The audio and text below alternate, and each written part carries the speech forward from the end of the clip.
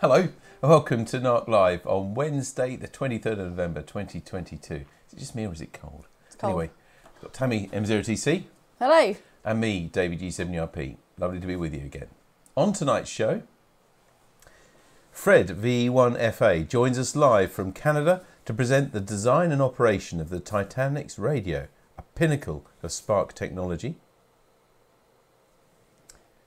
Exclusive, we have Summer Wine Gang member Paul G3VPT, who's been looking out for birds. Maybe I shouldn't have read it like that.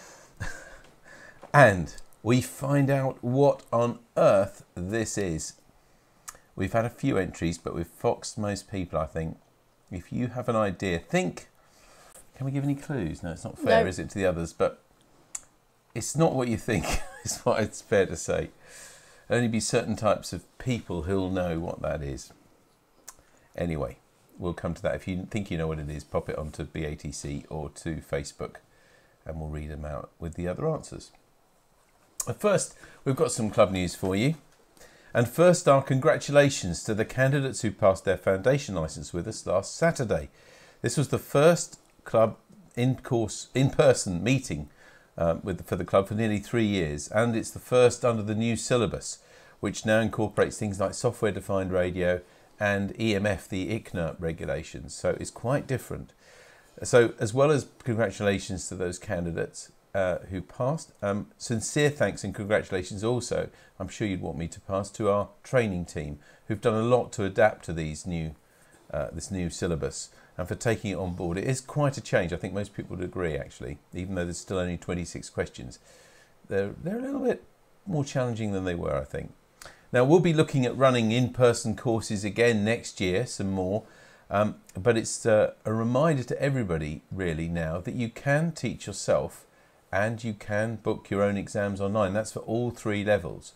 And very soon, I think it's the beginning of next year, there's also a full course for going from foundation to advanced. So just bear that in mind. Of course, we will be running courses, but uh, as a lot of people have in the last couple of years, you can now do all of it online yourself, and you don't have to have any practical assessments for any of the levels.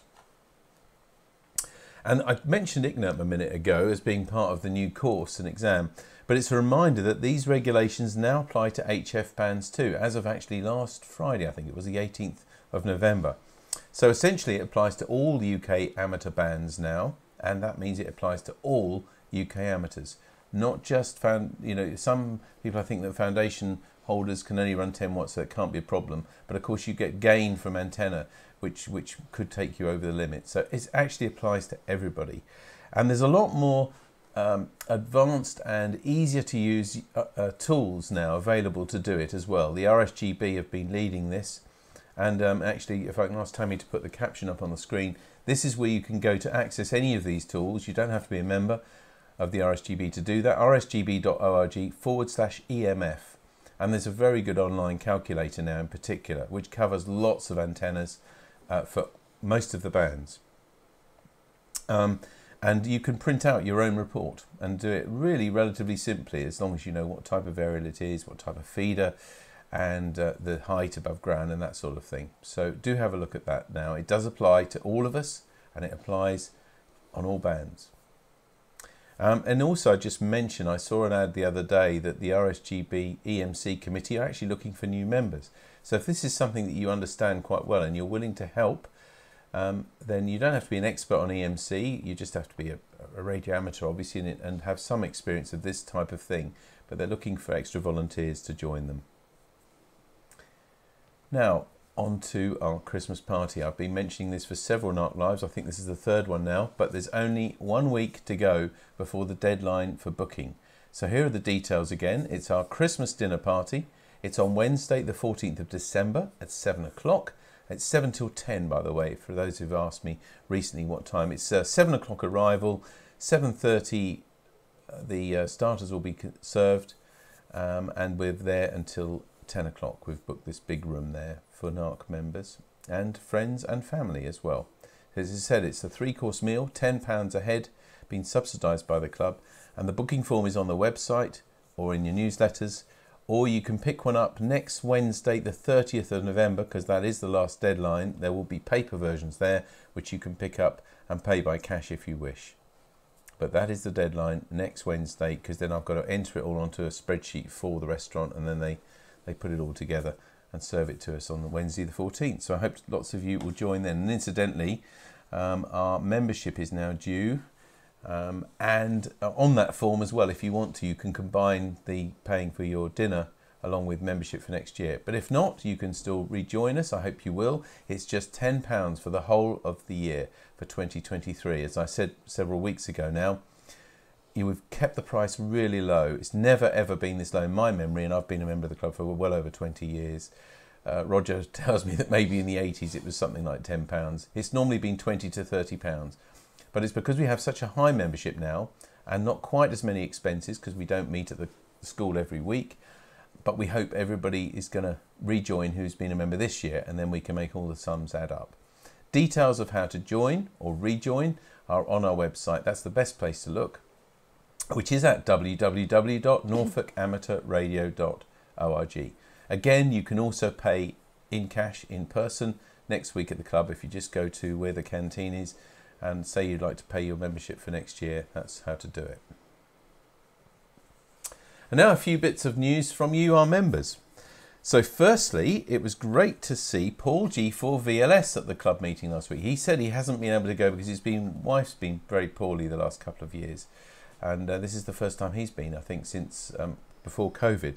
So he was able to come, and he also brought one of these as a sample.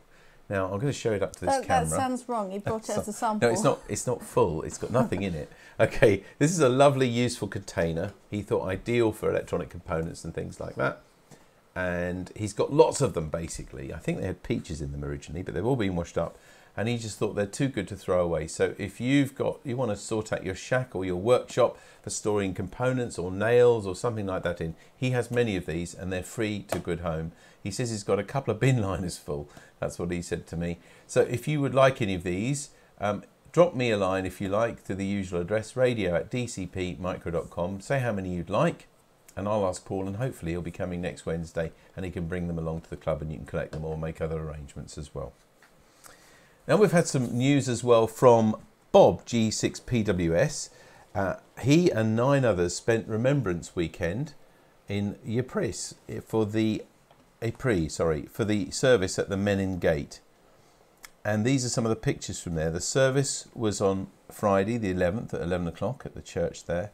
And on Saturday, they went on a tour of the area, including Hill 62 and the Bay and trenches as well. I think you saw the trenches on the first slide. Thanks for sending us those pictures, Bob. And finally, from news from you, from Bob G7JTZ of the Summer Wine Gang. Uh, he had a visitor this morning, and it's Bob, it's Paul, sorry, G3VBT, who had his camera out. Have a look at this. And this is the message. It says the heron is still left hungry when he left. He couldn't reach the fishes, and it's not the first time he's been and failed to reach the fish. I feel a bit sorry for him, don't you? Yeah. He looks. I put Paul on there. I thought it was Paul, not Bob. Paul took the picture, I think, but it's Oh, Bob's right, garden, okay. I Right, believe. okay, fair enough. Um, anyway, he said that the heron, or well, he said he was 150 millimeters above the water, and the pond is one to three meters down. I guess he meant the heron, not Paul.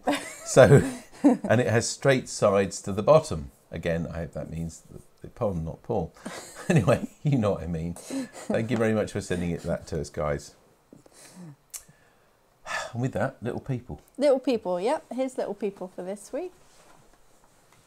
Ooh, A motorcycle. I like it.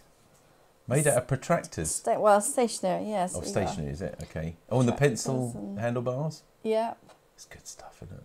Some squares, some pens. I Oh, think yeah, that might even be a stapler, possibly, that his feet are on, or Oh, yeah. staples. It's always ingenious how they do it, isn't it?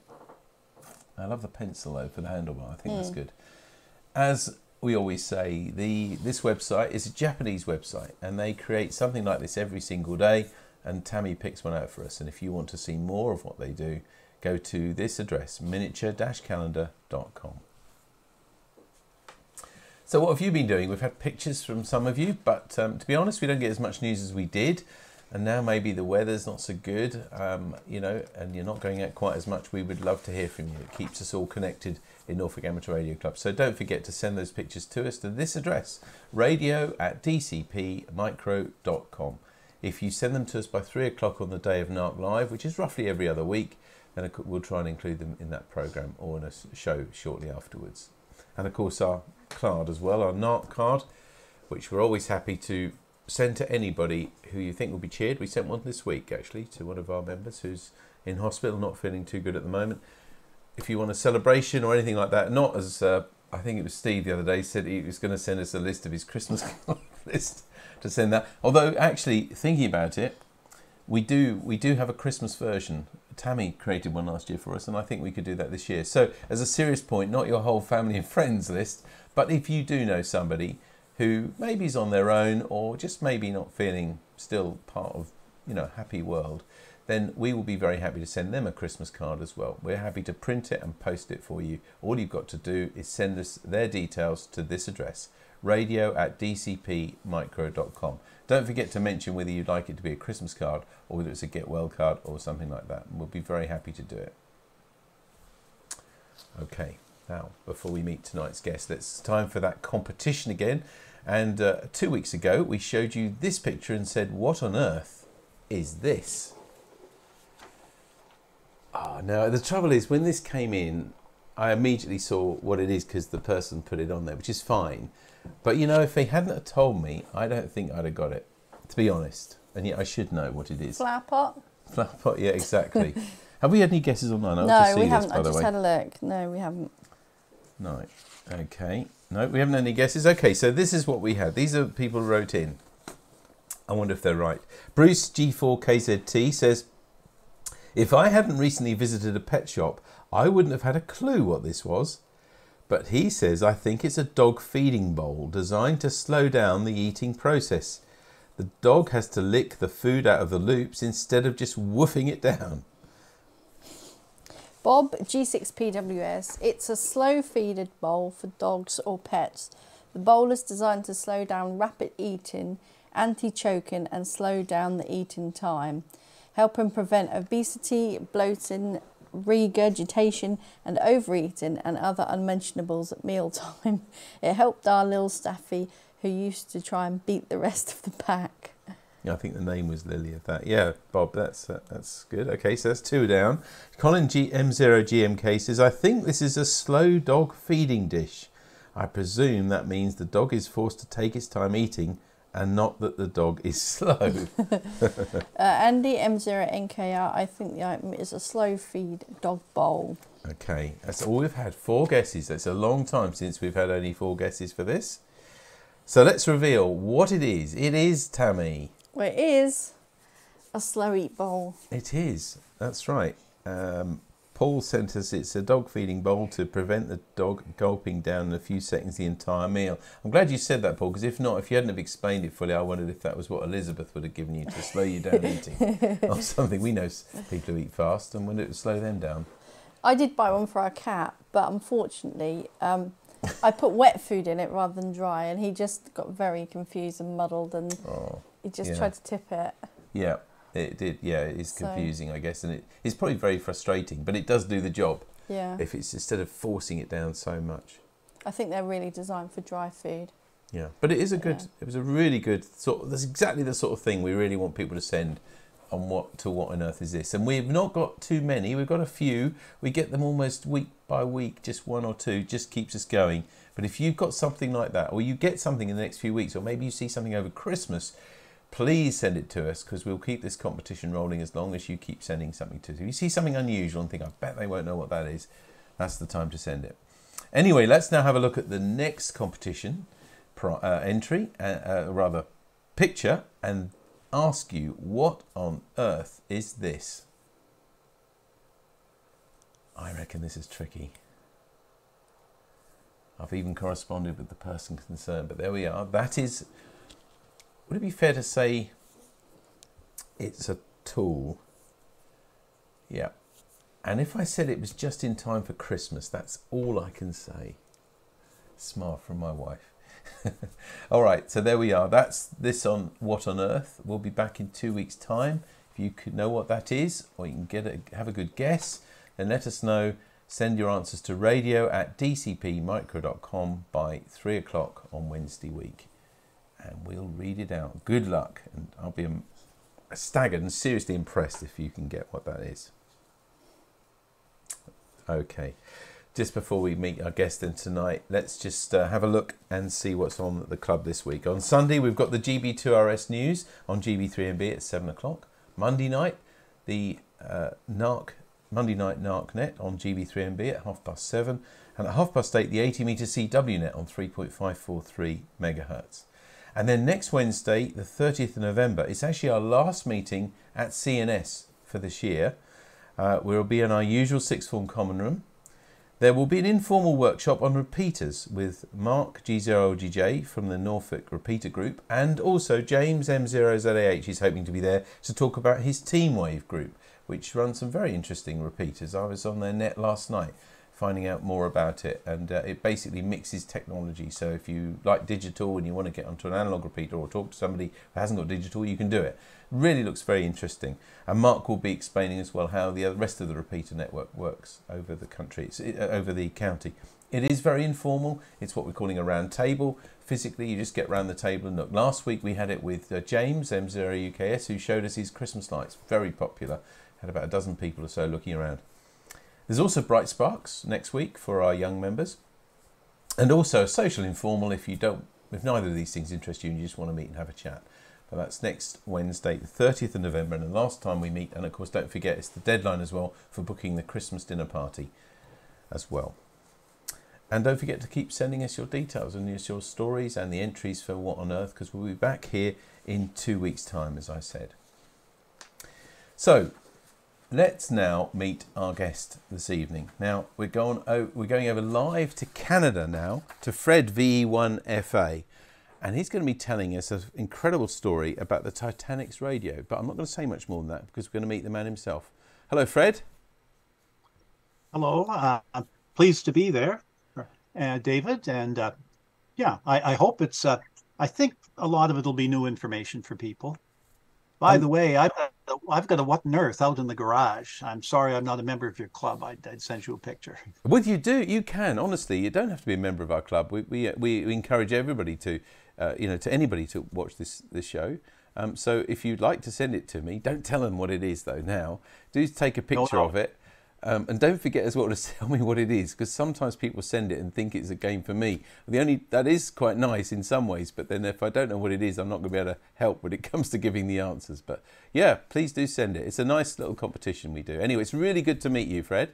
We were comparing notes on the weather about um, oh, so just under an hour ago, weren't we? And you said it's uh, similarly getting cold where you are in, in Canada. Whereabouts are you? Uh, I'm in Nova Scotia, which is on the east coast. It's uh, well, Newfoundland is a little, bit further east, but other than that, we're we're close to the easternmost part of Canada. It's it's a an almost island. Uh, I was going to say it's about the size of uh, uh, Maine, but that probably doesn't help you over there. It's, it's a good sized province, no, not like the western ones, but uh, strong English influence around here. Most of the uh, city names, Halifax, Yarmouth, Falmouth, so forth. They're all here as well. Oh yeah, well Yarmouth. That that is uh, Yarmouth is uh, in our county, Norfolk. Here, it's about from mm-hmm. here about thirty miles, I guess, something like that. So it's very much. And you just you, you your daughter's in in uh, in Newcastle in England, isn't she? Yes, uh, yeah. Our daughter Anne is a, an astrophysicist, and uh, she finished her schooling over here at McGill in Montreal, and then she spent uh, several years in Holland and was offered a job at uh, uh, the uni in Newcastle, England. So we spent most of September in Newcastle, and uh, we we like England a lot. We've been over quite a few times, starting with me on a BSA in 1969. Mm, but uh, anyway, uh, we also have we have relatives. We've got a couple of cousins in Edinburgh. So anyway, we Good. had a uh, uh, I'd never seen into the north uh, northeast corner of the UK. So this and our daughter has a friend who took us all around Newcastle and to the north and to the south. And anyway, very enjoyable, and we'll certainly be back. Lovely. Well, okay. Well, it's lovely to welcome you to NARC Live as well tonight from from your home in Canada, and we're looking forward very much to hearing about the incredible story of the radio to Titanic. Just a, a reminder to everybody now at home, though, watching, uh, you can ask questions and make comments at any time for Fred. Do it during the uh, doing his presentation or straight afterwards, and of course we'll read them to Fred at the end. But now over to you, Fred, and we look forward to the story of the Titanic radio. Okay, thank you, David. And uh, yeah, I hope this is of interest. Uh, you can see on the first slide, uh, there's really three interesting things to talk about. And the first time I gave this talk, I tried to talk about all three. And it's just, there's just too much there. So this will be primarily the technical side, how the radio on the Titanic worked.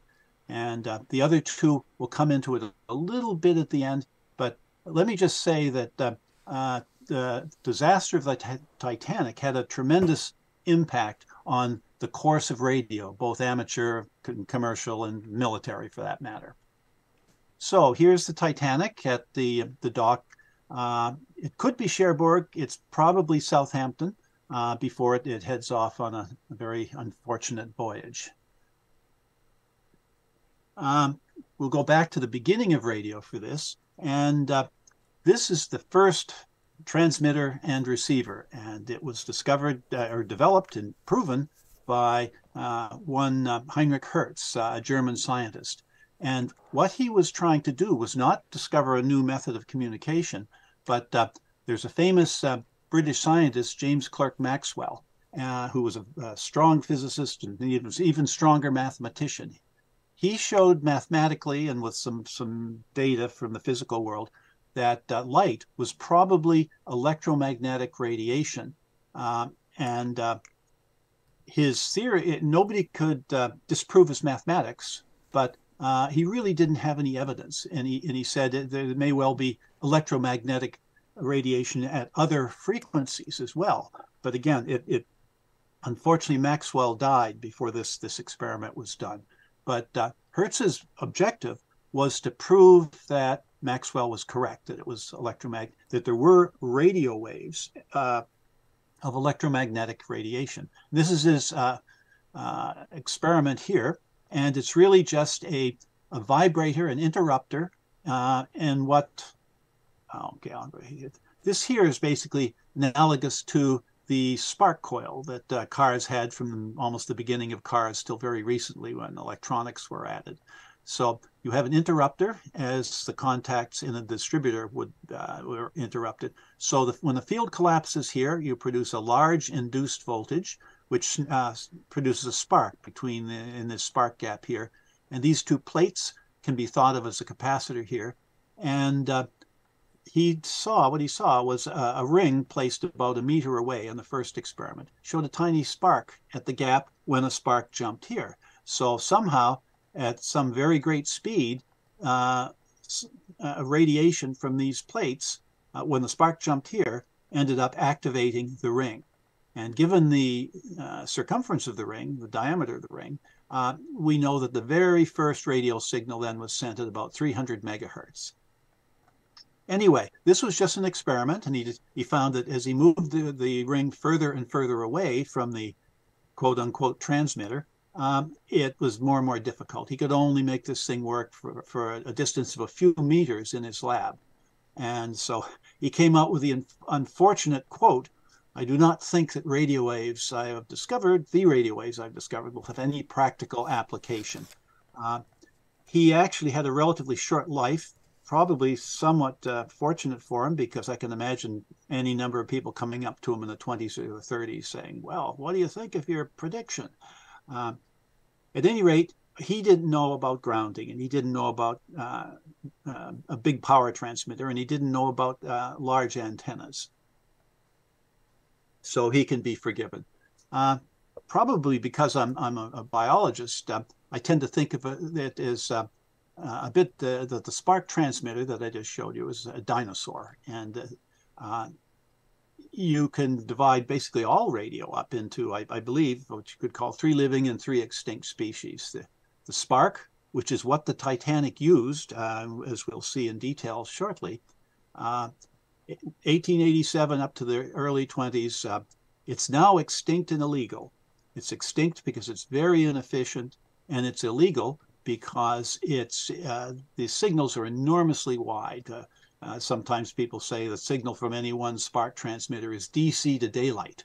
Uh, as they went along, they got better. But uh, in the early days, you could only use one transmitter in a particular physical area because it, it just filled it filled the spectrum as far as they knew the spectrum. The second device was the RF alternator, and this was developed by uh, a Swedish engineer, uh, Alexanderson, when he was working for General Electric in Schenectady, New York. That was a huge plant at the time, and they were building uh, transformers for the uh, emerging grid, electrical grid. And uh, anyway, he he came up with the idea that they did realize with Spark that Spark was a very inefficient way, and what they wanted and what they understood from quite an early date was that a continuous wave is what they wanted. And the Spark was like striking a bell. You, you get a, a few cycles and then it, it, it damps out, it dies out. Uh, so the alternator solved that beautifully. The RF alternator would keep a clean carrier going for as long as you had the fuel to run the uh, run the uh, uh alternator. The trouble was that uh, uh, they were trying to produce RF frequencies mechanically, a big electric motor driving this big alternator, and they had hundreds of tiny poles in it. But the best they could do, as far as I know, the highest frequency Alexander Alexanderson alternator was at 17.2 kilohertz. Uh, there were other ones down to 12 kilohertz.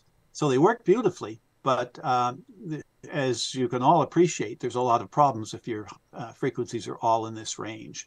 Uh, they actually um, had one uh, strength, and for that reason, they were used uh, through World War II uh, and were very useful. And that is that at 17, 12 to 17 kilohertz, the signals uh, are transmitted through salt water very efficiently. So these were a great way to contact submarines.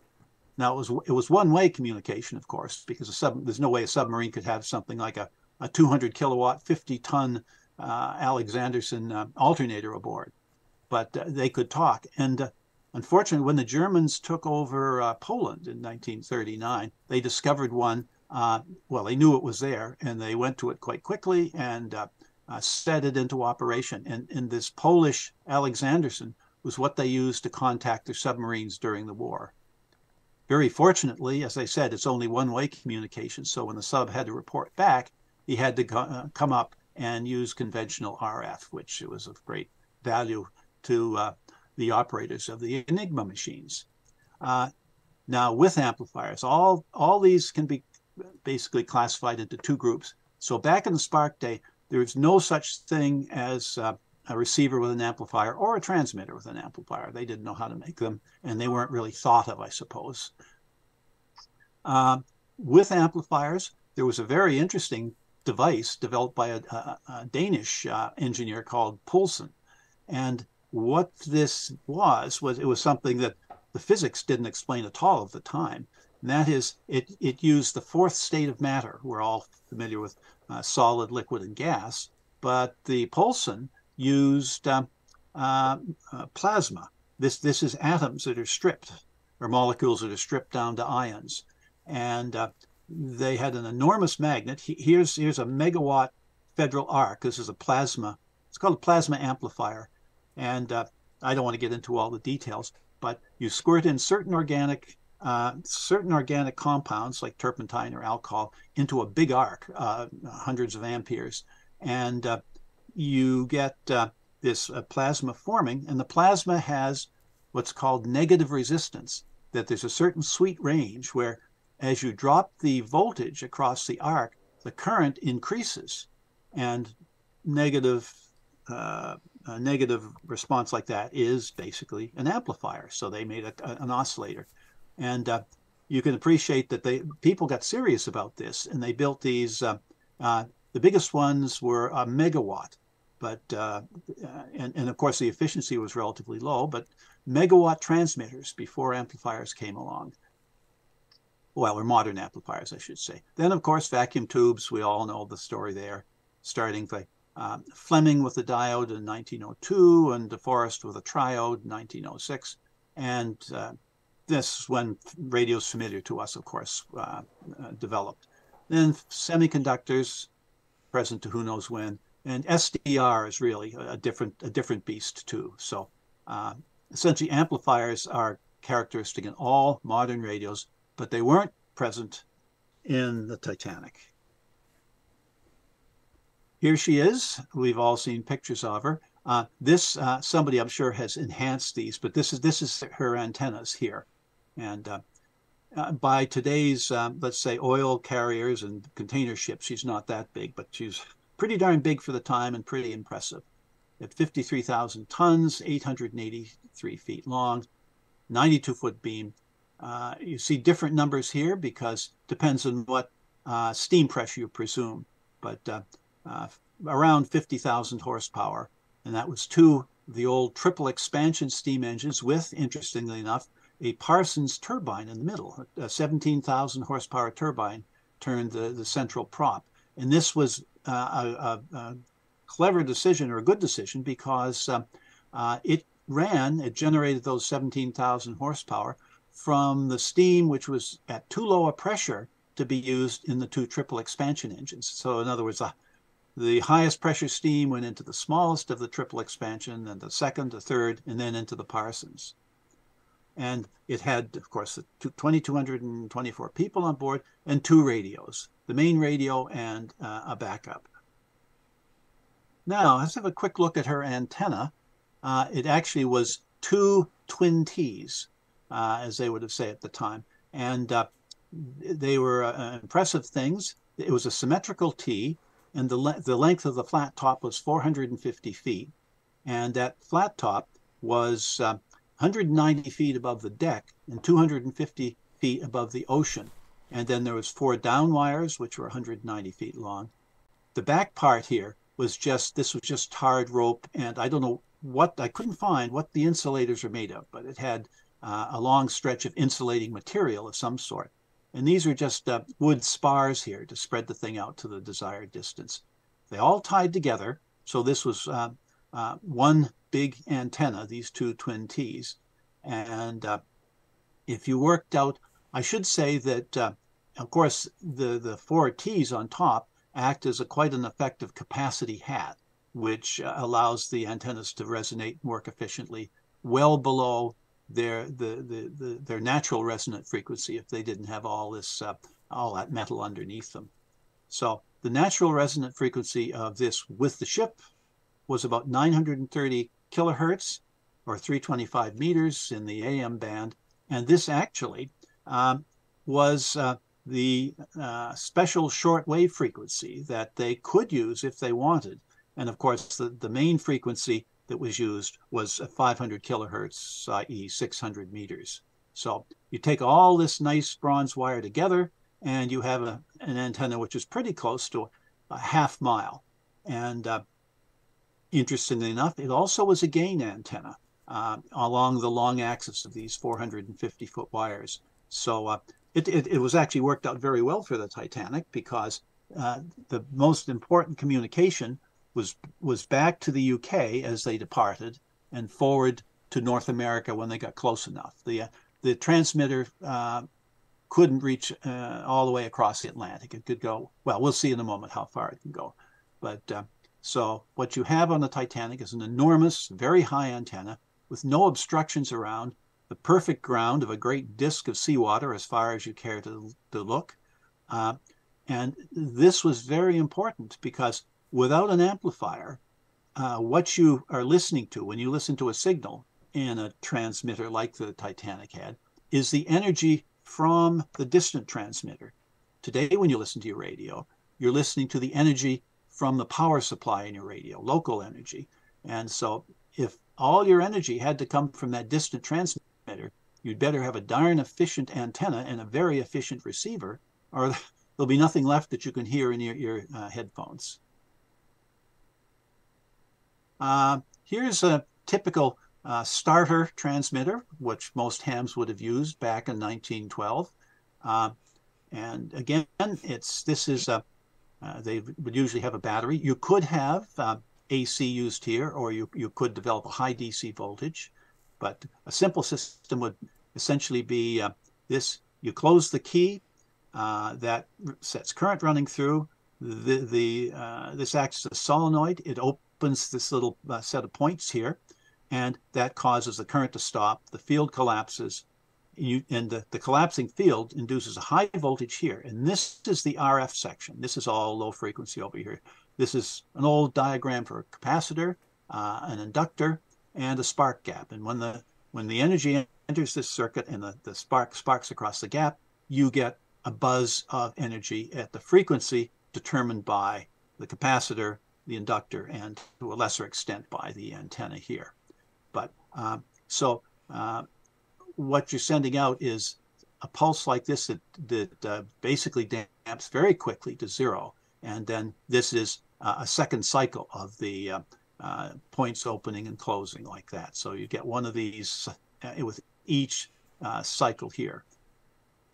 This is what it would have looked like as a real setup, usually an old automotive six volt battery.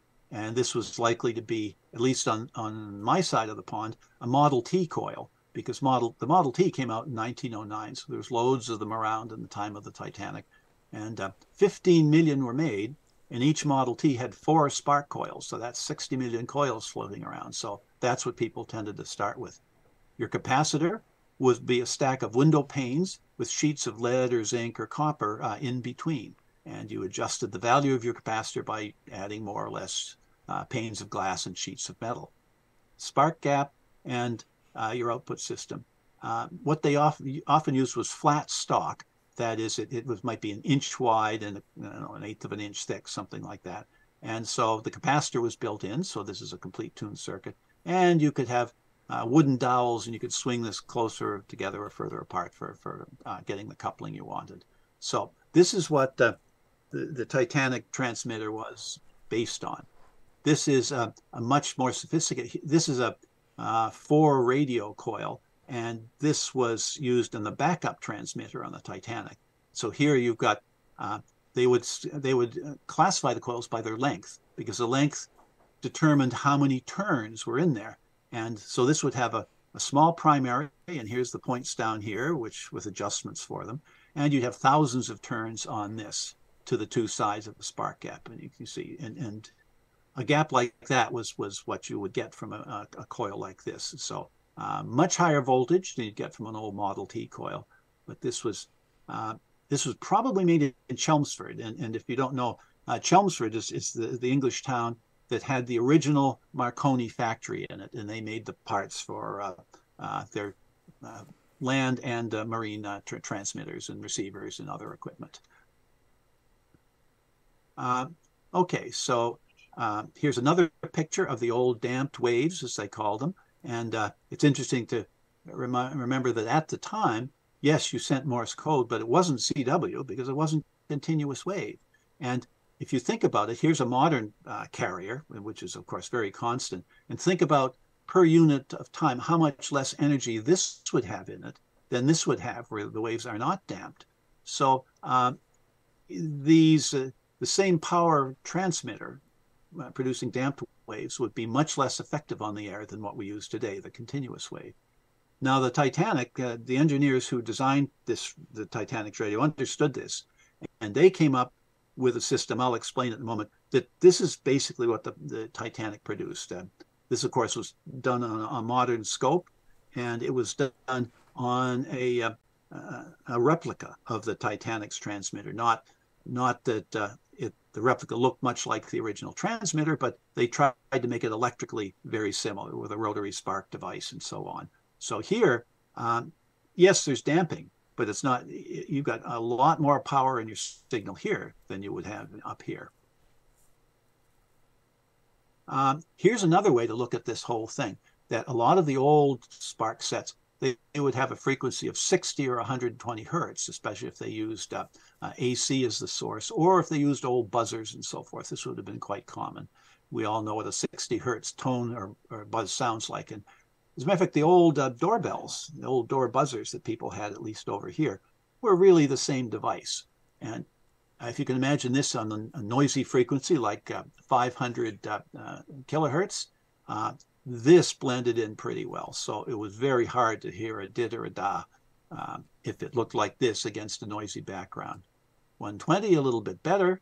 But if you get it up to 750 hertz, now this, of course, is, of fact, this is where CW ops like to uh, listen today, is, is you know, a tone of uh, five, six, 700 hertz. So this really stands out against the background. So aside from the extra energy, this is much easier for the human ear to distinguish. So th this uh, and and the, the designers of the Titanic's machine understood this. So frequency increase, then you get a big improvement in signal tone, easier to copy, and a, a decrease in dead air between the damped waves. You're getting more power. You're getting more power into your signal. Uh, so um, people tried to improve this, get fa get faster sparking, and uh, this is the first thing that, or one of the things was come come up with, which became very popular, is uh, you take you have your own alternator, uh, and you drive it with a DC motor from a battery or some other DC source, and uh, you have a step-up transformer, and you get this can be anything you want. In, in the Titanic, uh, this secondary was tapped. You could choose whether you wanted 10 kilovolts or 20 kilovolts uh, in, in, your secondary circuit. And uh, what you have, instead of that old buzzer, uh, you have a, a, second motor with, with a, a, studded disc. And when the little, of course, here's your spark balls. And when the disc, when the studs line up, a spark jumps across and you activate your secondary RF circuit. But there's a problem. The original ones, of course, they had a sec separate motor for, for the rotating gap and for the drive motor. And the problem with that was that sometimes um, the, the, there was no timing with the, the peaks. This would produce, of course, a sine wave like this. And what you want is for the rotor, uh, rotary spark gap to uh, basically generate a spark or uh, align with the two spark balls at the peaks of the sine wave. But if it's not coordinated, sometimes you might uh, it might uh, they might uh, be in, aligned at the zero point. And then you get no spark at all. They might be halfway down and you get a weak spark. So uh, what needed to be done was that you needed to synchronize the phase of the AC being generated here with the position of the studs on the on the uh, the rotor. Uh, okay, I'm slight slight uh, uh, diversion here, just to say that uh, Marconi, of course, was uh, he was out to uh, basically succeed in business as well as succeed in in, in making effective radios. And so this is what was offered by the, the gang at Chelmsford in 1915. I couldn't find it for 1912, so I'm not 100% sure that all these versions of the Titanic's transmitter were available in 1912. I think they were, but I'm not sure. You could get an old style plain spark. That is, uh, most of the components would be exactly the same as the Titanic's, but uh, it only produced uh, 70 hertz or 140 hertz spark note. Of course, you get two two sparks with every cycle, the, the negative and the positive. Then there was then there was one called the Battleship, and this one had a very broad tuning range, but was really mostly used around 300 kilohertz because the Navy navies of the time uh, communicated down around 300 kilohertz, not 500, where most other people were. And it had a, a 560 hertz spark note, which was very nice. And there was a special, which is probably the version that was closest to what the Titanic had, but it had some uh, key differences. And this was a rotary synchronous spark. Uh, 500 volt AC, which was uh, at 300 hertz, and uh, it had a. I'll have to explain this in a minute, but it its synchronous uh, rotary discharger or uh, rotary spark uh, was in a can, and it, and it, produced a 600 hertz note. The Olympic, which was the sister ship of the Titanic, was the first ship with exactly the radio the Titanic used. Uh, built about a year before the Titanic and uh, so in its case, uh, you had three, a 300 volt, 420 hertz alternator, and the spark rotary spark gap was in this big teak discharger box, and it, you got an 840 hertz spark note. Again, easy, something easy to copy in CW. And oh, the, the 600 here is this is its uh, this is when where it was always used as well in, in, the short life of the Titanic was 600 meters or 500 kilohertz, if you like. But you could switch it, and certainly uh, the operators would would have tested this out uh, up in what they would call a shortwave range, or nine, uh, 930 kilohertz, 325 meters. But uh, that was never used, as far as I know. Uh, they just used 600 meters, 500 kilohertz, and uh, what this is, we'll we'll see in a moment. But the rotary spark gap, when I've I've heard one running, there's a outfit called the Antique Wireless Association of in upstate New York, and I was up at their museum. Which, if you're ever around uh, Rochester, New York, uh, and you like old radios, they have the most wonderful museum there, and they have a working rotary synchronous rotary spark. And when you key down, when you're not when you're the key is up, it's perfectly quiet. It's just it's the sound of a, a quiet electric motor just whirring away. But when the key goes down, uh, you've got these big, heavy, high voltage, high current sparks. Uh, uh, well, in, in, this case, would be 420 hertz, and it just roars. And uh, so I, I, I don't know for sure, but I believe that why they used a big teak discharger box was because the metal can would have been much louder. They put the whole uh, device, the whole power part of the transmitter, in what they called the silent room. And it was a wood lined, the, the cabins were all steel. Uh, and they, they lined this one with wood. And then they also put the uh, discharger in this teak box. Uh, actually, if it had been just the teak box, it would have burned up. So it, it had a lead lining and an asbestos lining to keep it from uh, burning up. Okay, here's here's the the system. So the main transmitter was uh, Marconi's 5 kilowatt synchronous rotary spark. Uh, they also made a 1.5 kilowatt version, in, but uh, yeah, for, for a bigger, uh, I think it was pretty expensive. I don't have a price to give you, but uh, anyway, smaller ships would have used the one and a half kilowatt. The, the Olympic and the Titanic used the five. And, it was filled with devices uh, produced by excellent engineers. Actually, Ernest Rutherford was a, a Nobel laureate winning scientist, a, a, New Zealander, a Kiwi, who was at my old alma mater, uh, uh, McGill University in Montreal for a number of years. And then he went to Cambridge and he's developed all sorts of things to do with uh, radioactivity and uh, electrics. A chap, C.S. Franklin, who graduated from the Imperial College in London, who uh, initially, of course, people didn't understand resonance and tuning very well, but he came up with an excellent tuner uh, called the triple tuner or multi tuner, tuner, which was used not just in the Titanics and the Olympics uh, receiver, but really was used up to the end of the Spark era.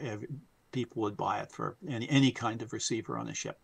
And Reginald Fessenden uh, was a Canadian scientist uh, in, from Quebec, and he, a lot of people played around with the rotary spark gap, but he's generally given the credit for uh, first inventing it and developing it. And the radio on the Titanic was installed, aligned, tested uh, by uh, two of the Marconi operators, Jack Phillips, the, the senior, and Harold Bride, uh, the junior or assistant. And they were, uh, of course, did this at Harland and Wolff, the shipyard which which built uh, Titanic. And so it was fully functional by 2nd of April. And There was a great rush because they they they were going to uh, uh, make the first trip across the Atlantic in, in just uh, less than two weeks. It's rather interesting too that they took something which had never floated, popped it in the water. Its sea trials were about three to four days, and that was it. Uh, I, it surprised me because uh, most big ships take weeks to months of sea trials to test everything out. Call sign was MGY. Uh, every uh, British ship that had a radio had an M call sign, an M for uh, Marconi, of course. So the Titanic itself, one of the things that uh, it was supposed to be the most modern ship afloat. Uh, well, the, the Olympic was built from the same blueprint, and so there actually still were differences, but they were pretty close, uh, built from the same set of blueprints. Um, anyway, it's electricity. They tried to run everything they could so the system was, uh, the main system was plus and minus 100, 100 volts DC relative to the, the frame of the ship, the deck and, and the wall and floor of every, every room in the ship. Uh, plus and minus 100 volts DC at 16,000 amps. And they had a little emergency setup, uh, plus and minus 100 VDC at 600 amps. And uh, as far as is known, uh, actually, it's not really known if they ever got to the emergency power because this was all below decks and almost none of the crew down there uh, survived. The uh, so the the transmitter power in was uh, 100 to 110 volts. That was the kind of the normal fluctuation range, depending on what else was running on the ship, at 60 amps. And the power out, the RF power out of the transmitter, uh, they didn't measure it precisely. The as we'll see in a moment, the uh, five kilowatt rating is the amount of uh, the AC power, the the um, uh, AC power which fed the up uh, what you call step up transformer that that ran the uh, rotary arc, and the signal was a what they called musical 840 hertz. And uh, when the Olympic went to to sea, uh, it was interesting. Back in those days, a, a good operator, a good marine operator, would know a lot about um, the ship when he heard the signal that uh, Germans and the Japanese and the Italians and uh, and various other uh, groups had their own designs, and every every transmitter sounded quite different in those days. Was it a, a, a synchronous spark, a, a non-synchronous spark, uh, a plain? Uh, and anyway, lots of differences. So, oh yeah, that's that's that's a German one there, and and uh, and this was absolutely unique. None of the others were musical, uh, having this high modulation frequency caused by the, the speed of the uh, rotary spark gap. And so the, the main receiver then was this Ma Marconi multi-tuner or uh, and, and, the magnetic detector or a Fleming valve uh, for the tuner and detector. And uh, the magnetic detector was actually built by Ernest Rutherford. Uh, the, the ops called it the Maggie uh, and it was much more popular than the vacuum tube. Uh, so yeah, the the Titanic went to sea with two operating vacuum tubes, and that was in the uh, uh, uh tuner detector. But uh, it wasn't as reliable as, as the Maggie. The, the, Maggie, as we'll see, is a direct ancestor of the magnetic wire recorder for voice and, and, so forth in the Second World War, and of the magnetic tape uh, tape recorder that we're all familiar with. The auxiliary transmitter was was just the old plain uh, spark coil, like those early primitive uh, spark sets I showed.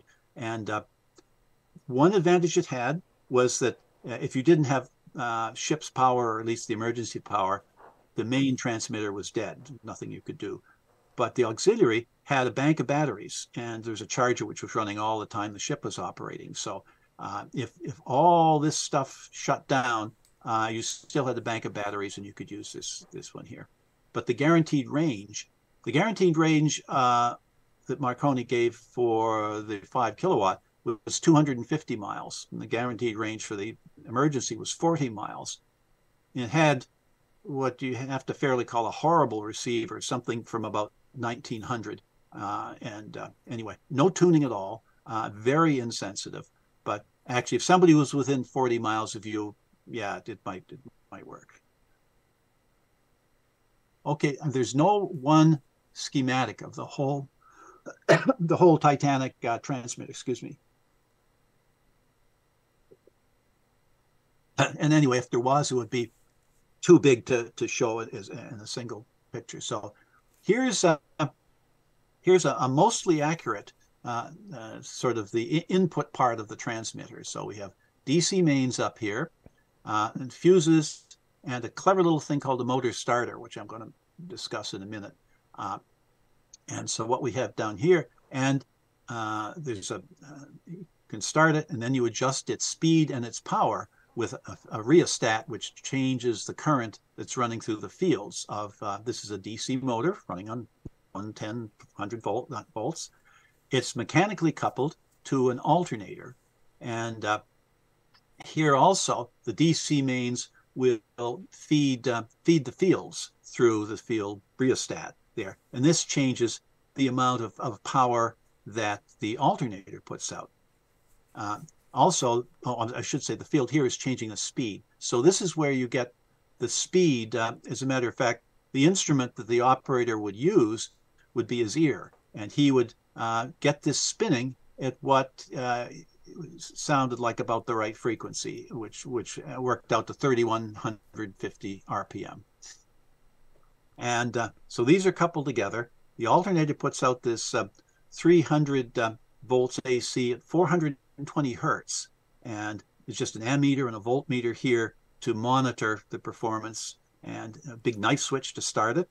And then there's this interesting thing, a resonance coil. And what they did was this you set this thing to 420 hertz, and uh, this you have a resonance circuit which includes the this thing, the primary of the high voltage transformer, and the windings of the alternator. And this allows you to set it so that this will cancel out all the reactance from all these inductors. So you just have a simple resistance when you're close to 420 hertz. So you can see that. You look at your ammeter here as you're fiddling with the speed of the motor here, and you'll see a point at which the amperes peak, and that's your minimum resistance through this. And then, then you're in the sweet spot. You're close to 420, and you you're this is the most efficient.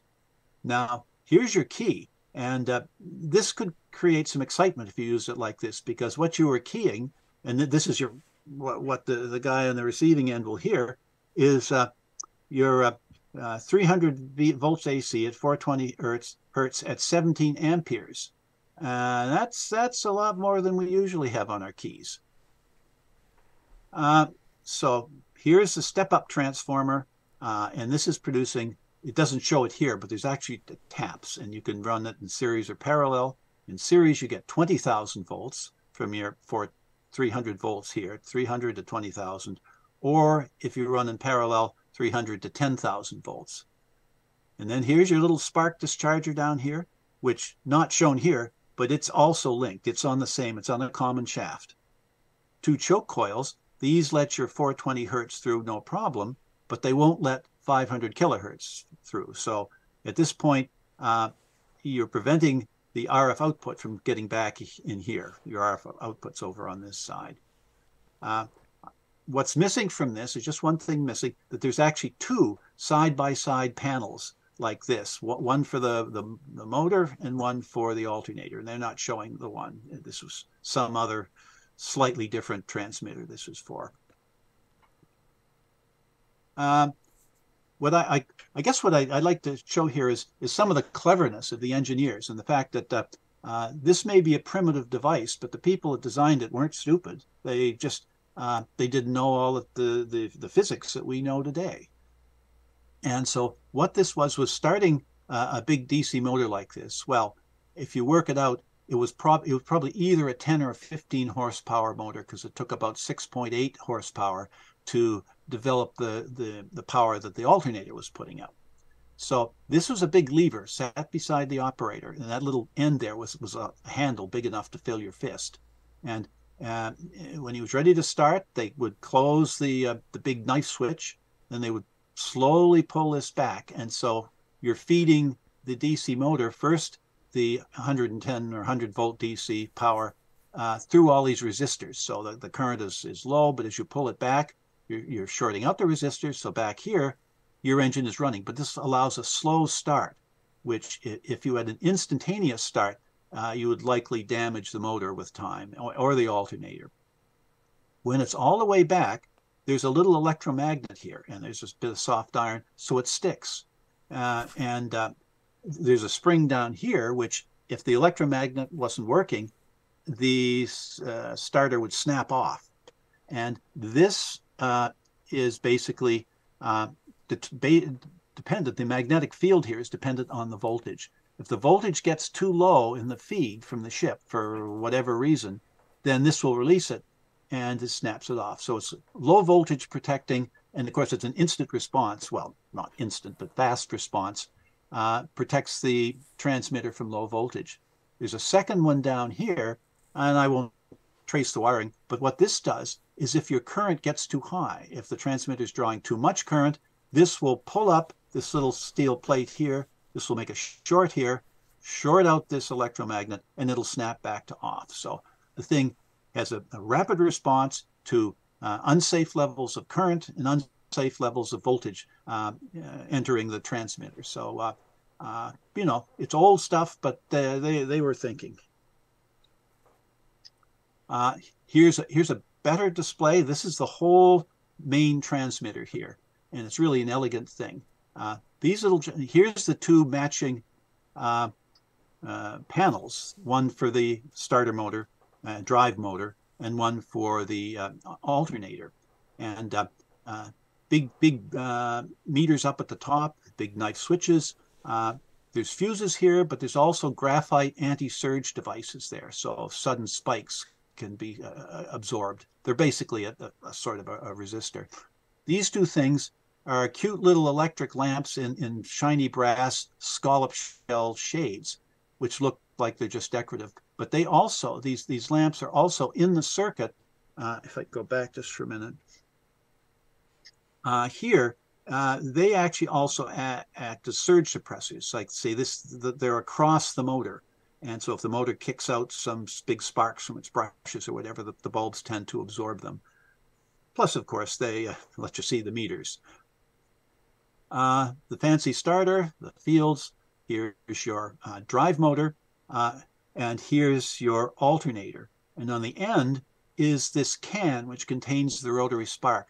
The can was not used on the Titanic or the Olympic. This was on other ships. And uh, I think it was, as I said earlier, is basically a noise thing. That this this would have been very loud, and they had all around the radio room on the on the uh, on the uh, boat deck, the top top deck on the ship, were the sleeping quarters for both passengers and uh, ship's officers. And uh, I'm sure they wouldn't have wanted that roar in Morse code uh, going all night. Uh, okay, take it follower. Here's that resonance adjustment again, which gives you a, a very efficient uh, circuit for the output of the alternator. Uh, and here's actually what they really used in the Titanic and, and, and other ships afterwards. Uh, they called it a magnetic uh, key, uh, but it's really a relay. So the key then only switched the windings of the relay, not not in the full 300 volts at 17 amps was was switched by a relay a little a little further from the operator's knuckles. Now here's the Here's the guts of the transmitter. Uh, here's our high voltage transformer again, uh, set to either 10 or 20 kV. RF chokes to keep the RF from getting back into the transformer, but allowing the, the uh, 420 uh, hertz AC through. Here's again a rotary um, uh, spark discharger, and you can see it's it's lined up as it should be because it's on the common shaft. It spins around. It's got 16 studs, and this is the tank circuit here. This is a, a big coil called a spiral inductance. This is four heavy galvanized tubs full of uh, sheets of glass and sheets of uh, zinc, which are the capacitors. There's a thing in the middle called uh, a Swiss, um, uh, what do they call it there? Uh, oh, senior moment, Swiss commutator. Uh, and all it does is it's got a bunch of copper pegs, and you, you definitely don't use this when the machine is running. But by moving the pattern of pegs around, you can hook these up as all in series or all in parallel or series parallel. You would only do that if you were switching from the main frequency 500 kilohertz to the short wave frequency, quote unquote, at uh, 930 kilohertz. The jigger was uh, this was this is two coils. Okay, let's say in in the way we would think of it today, there's two parts to the tank coil. There's the spiral inductance, which has a big knob on the top and it's accessible. So it, you can do your coarse tuning there. And in here are two coils. The, uh, the, the one that's connected to the tank is in the back and you can't really see it, but there's a little crank there and a threaded shaft. And so the top, the front coil can move up or down. The tank coil behind it stays where it is in the bottom. So this is, um, it's like what they call a goniometer back in the day, but it's not a true goniometer. You just, the two coils, when they're lined up, have maximum coupling, maximum power transfer, and uh, a certain impedance. As you crank the whole face up here and the top, top coil moves, you get less and less coupling and a change in the impedance. The little dots are studs, uh, taps on the coil. So when you're setting it up, you find the correct tap to get maximum energy out, and you, you crank your little handle there to get the right coupling between the back tank coil and the front pickup coil uh, which links to here's the antenna. It's called a Bradfield, uh, a special insulator, because of course the outside would be splashed with salt water and they had to avoid lost power. So they, they came up with quite an elaborate uh, through hole, if you like, and a couple of series uh, coils. And this would have been something that you would have set up uh, in Belfast probably. And, and once you knew the, the right taps for your ship and your antenna and those two bands, uh, 500 and 930, you would have noted them down and then you would have had to move these wires around to them when the time came. The grounding, the grounding side of the RF went through two little devices I'll describe in a moment called earth arresters. And uh, uh, it, it, basically they acted as relays, but they're simpler and I think more clever. Uh, and when they when you're not in transmit, you automatically drop into receive instantaneously, and then this goes off to your receiver. And this is ground down here, and here is how uh, in setting up any transmitter, what you need to know is uh, what's the output. I mean, you, you, want to be able to, and I'm sure many of you did what I did when I started in ham radio, and uh, use an old light bulb. And I remember starting with a, a, a, command set transmitter, something used in World War II planes. And uh, you just hook up a light bulb and you, you diddle and fiddle with the controls you get the brightest light. And that's exactly what this was. A little bulb, looks like a, a, a, a brake light bulb in a car, and there's a shunt behind it. And you have to set it so that uh, it won't quite burn out when you have maximum current through it, but you can see a dim glow at a, at a low current. And you just adjusted all these different things to give you maximum uh, key down brightness in that little bulb. Uh, don't need to go into this anymore. This is this is just showing the tank part of the circuit, uh, perhaps a little bit better than the, the, the other one there. The, the red is, is basically the RF. And uh, here you can actually see the coupling crank a little bit better along the side there and uh, uh, two taps in the high voltage transformer, and again your your uh, spark disk here. Here's what this is a CGI computer graphics image, but um, we know that it's accurate because there's lots of pictures of this. The pic this is much clearer than most of the pictures that survived from the time, but there's enough descriptions of the pictures and the uh, discharger excuse me, the, uh, the, this setup is clearly seen in, in robot photos from the, the real Titanic on about 12,000 feet down. And uh, so again, the, the, the, drive motor, the uh, alternator, and uh, the disc is, uh, we're looking at side view of the disc. The disc is running through this. This box is like a, a foot by two feet. It's a good big box. This is the teak box. Uh, and this little knob down here and the parallel one over here, these are how you adjust the spark gap. The disc in the middle has, has uh, studs going through it. So when you make uh, the contact, you're actually making two sparks, not one, one on each side going to the, uh, the uh, outer contacts here. Those look like pipes are metal shielded wire, which is going to the two sides, which are going to be 10 or 20,000 volts DC different. Uh, so anyway, you need you need good insulation. So here's uh, here's another CGI picture. This Park Stephenson was uh, uh, is I guess a, a, friend of James Cameron who did the Titanic movie and and uh, uh, he's uh, he's he's another one of these fellows that's that's done all sorts of things and is competent in a lot of areas. But anyway, so they he took pictures from the the Titanic and converted the CGI. Picture is pretty accurate, but he doesn't have the the lead and the, and the asbestos linings here. You can actually see them here. This is the real Titanic, uh, uh, somewhat the worse for wear. And you can actually, if you look in there, you can see a little line that's either the asbestos or the lead uh, in the in the lid. And you can see here's here's the uh, the, the eye, eye, hooks to raise the assembly here. And uh, incidentally, in here you see how they've left the the snout of the alternator sort of wide open, and uh, you can reach in and you can move the uh, brushes back and forth. And the reason for that is that's how you synchronize the uh, actual meeting of the uh, studs with the uh, the cycles, the AC cycles that are being produced. So this is how you optimize the thing, and you just move it back and forth. And where you get the brightest arc and the loudest noise, you know you're you're right on the, the plus and minus peaks of the AC, which becomes uh, the RF.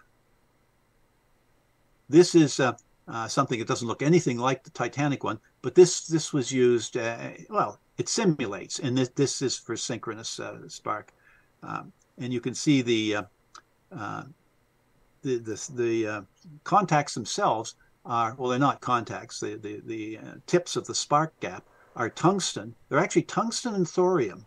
And again, I think that this was Ernest Rutherford's smart idea. That thorium, of course, is a radioactive element and the radioactive element causes air around itself to ionize a bit, become a bit more conductive to electricity.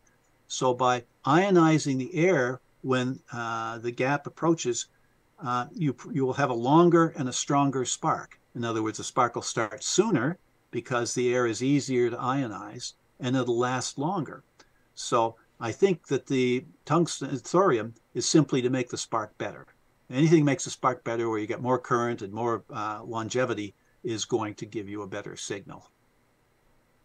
This is the one and only picture that we know of that uh, of the Titanic, uh, Titanic's radio room. And it was taken by uh, a pastor who, uh, the last place that the Titanic stopped, it actually, it went to Southampton then it went across to Cherbourg, France, to pick up a few passengers, and then it stopped in in Queens uh, Queenstown, Ireland, to let a few people off. And this was by uh, a passenger getting off there. Uh, smart move. Actually, there was a whole story to it that he was a, he was a, a pastor, a parson, and uh, he uh, really wanted to go across on the Titanic just just to do it. I guess he must have had a few extra pounds in his pocket. So uh, he got on, paid his paid his passage, and his uh, uh, his bishop found out about it and uh, gave him hell, I guess. And so he regretfully got off in Queenstown, but uh, I suspect the regret didn't last beyond the 15th of, of April. But this is all we knew about it. And this is all that James Cameron knew when he did the movie. And you can see it's a double exposure too. Uh, there undoubtedly were many more pictures taken, but they all went down with the Titanic because radio was a great novelty, and the idea that you could radio back and uh, remind the butler to feed the cat or whatever you needed uh, was uh, something that a lot of people did on the way across the Atlantic.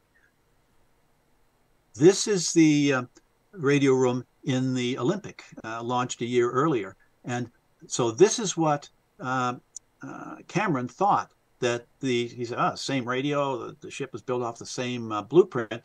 The radio room's going to be the same, but there's a couple things. One, you see this dark square here. The radio room on the Olympic was on one side of the boat deck, and that was a window. And and they, I guess they made it that way so that uh, they wouldn't have to look at people peering in as they were operating. Uh, but on the Titanic, it was in, along the center line of the boat. On uh, so it was just 12, 14 feet over from this, but it meant that they had no window, but they had a skylight above. And as we shall see, they did not have the same setup as the Titanic. Here you can see the charger for the backup radio, the two panels for the alternator and the drive motor with, with the uh, big off-on knife switches and, of course, the meter, mo meter monitoring. Uh, I've heard people call it Stone Age radio. In this case, it kind of fits the, the frames for these panels are cast iron, and that surface there is slate. Uh, so yeah, it, it, was kind of stone. Uh, and down here are the, the two fields and that big starter uh, in the middle. Here's from the movie, and the movie pretty well gave you just what was in the, the Olympic. Oh, uh, no, I'll, I'll show it in another one. Uh, this is just to give you a, a feel. Uh, this is this is also uh, a computer graphics image because there's no way that this picture could actually be uh, taken. Well, of course, 12,000 feet down in the ocean, there is zero light, so it's inky blackness. And, and uh, uh, anyway, the, the, the submarine here, the Alvin, is very real. It's it's been working out of Woods Hole, Massachusetts since the 1960s. Uh, I, I went down and admired it a few times. what they did, it's sitting right on top of the radio room. The skylight uh, uh, that, gave the operators uh, daytime light inside is, is right under it. And uh, it's got down here, it's got a little robot on an umbilicus, and the robot would have gone in here to see the, the uh, remains of the radio installation. Here's, um, here's the silent room, that wood-lined room, which was supposed to quiet down the roar of the spark. And again, you can see the drive motor, the alternator with its long snout, the open uh, teak box, and the, the disc is, is in there. Uh, but uh, look what's up here. Here's the four meters. Uh, here are the field uh, rheostat settings, and uh, you can't see it, but the knife switch is actually opened here. And it's, it's sort of a silent testament that uh, when Jack Phillips, the lead operator, finally got off the radio, and when water was literally washing around his feet, he went in and he pulled the knife switch because that's standard operating procedure. When you, you were finished with a radio, you pulled the main knife switch down. Although he knew as well as anybody else, better than most, that the ship was on its way to the bottom and it would never be used again. But he took the time to reach around the corner. So this was set up differently.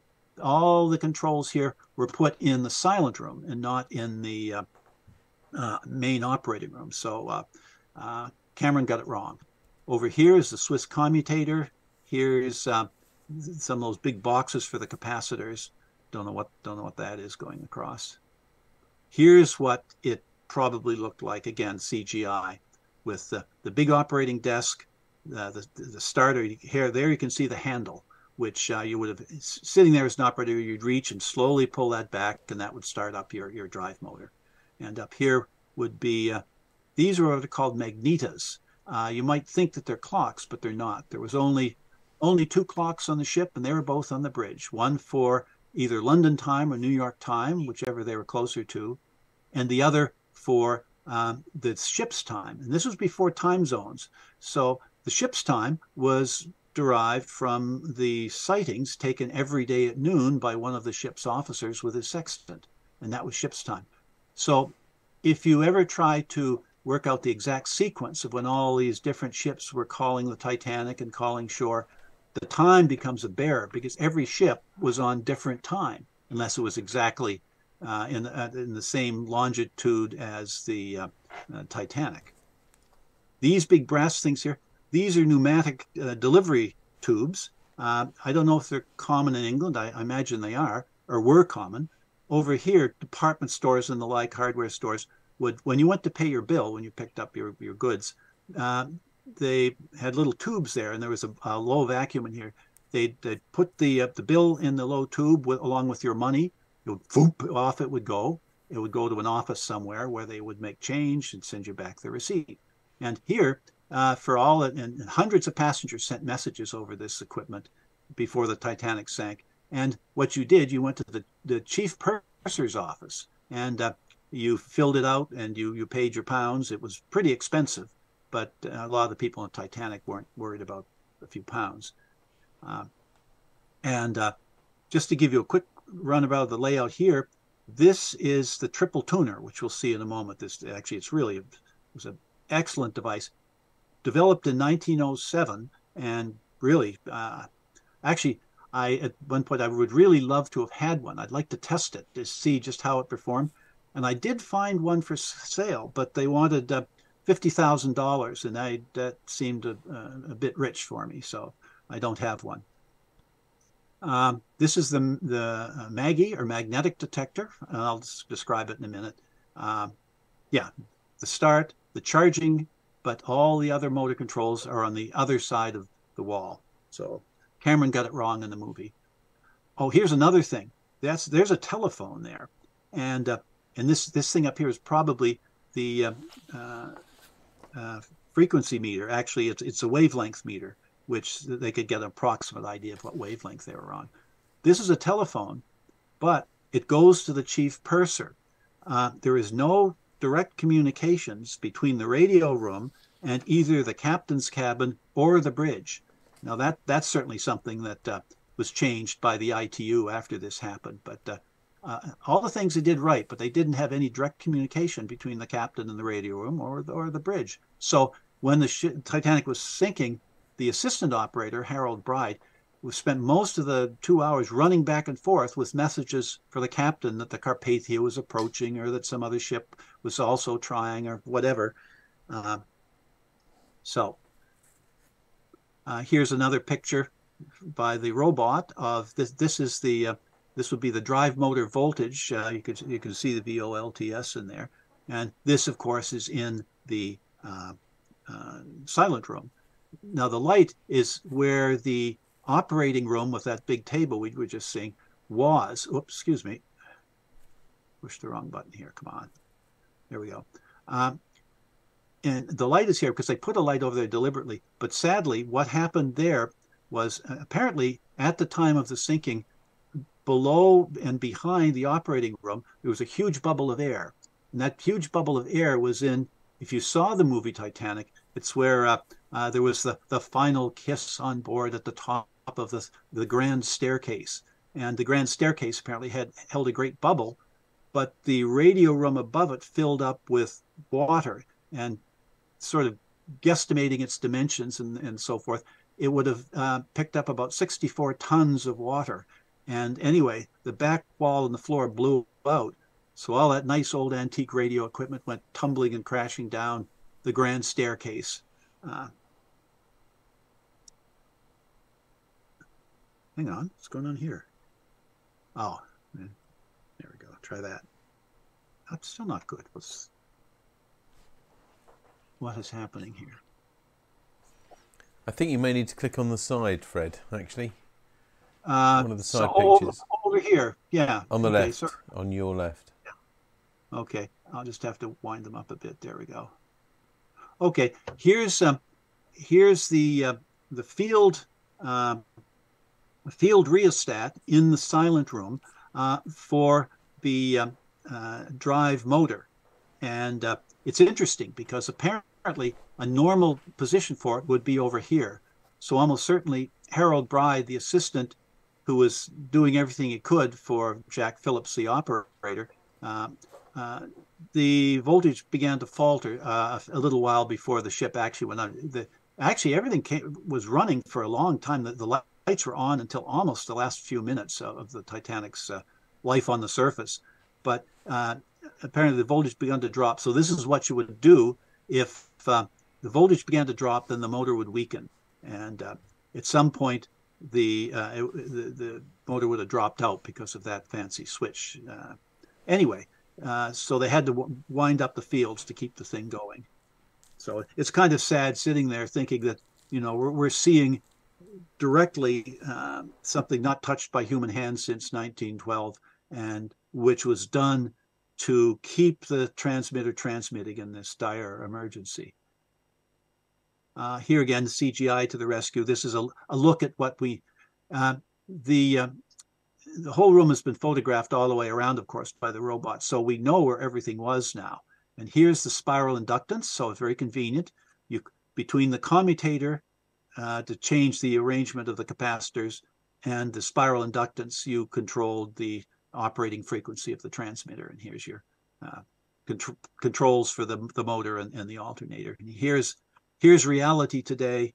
Uh, it's all the the walls have completely dissolved away.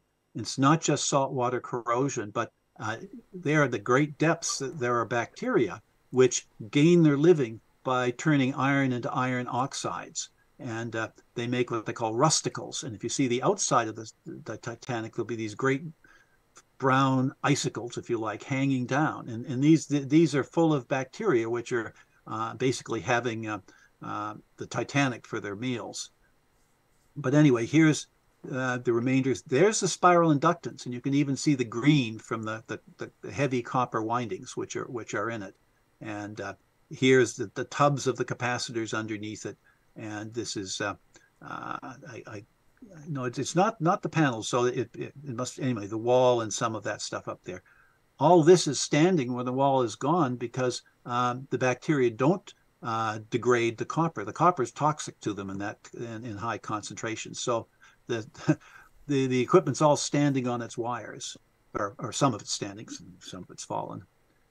Another shot just to give you a clearer idea. And here's our nice big teak box, and, and this is how it would have all would have looked. The jigger, as they called it, um, and the spiral inductance, the Swiss commutator, and the capacitors.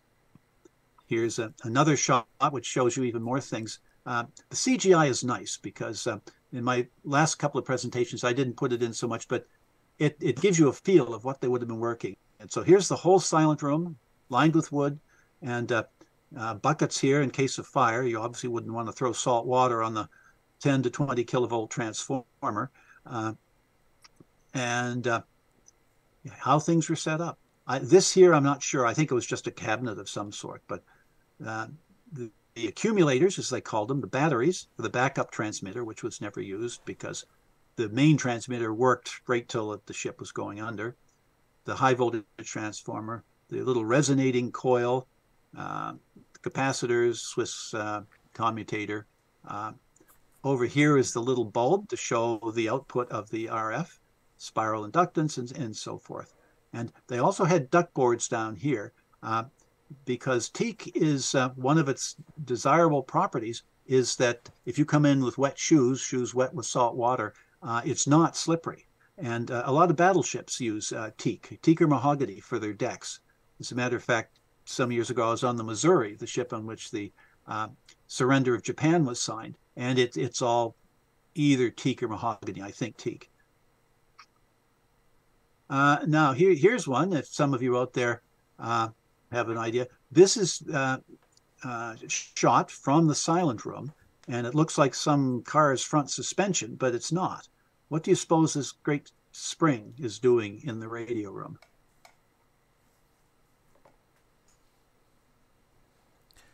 No idea. Anybody? If you're asking Anybody? yeah. Okay, that that's all right. It's just uh, uh, once I say it, you'll you'll see why it's useful. It's one of four. Uh, and what it's doing is it, well, it, it was suspending the operating table because a- any solid surface you put your hand on on the ship had the deep vibration of those three enormous motors going at the back.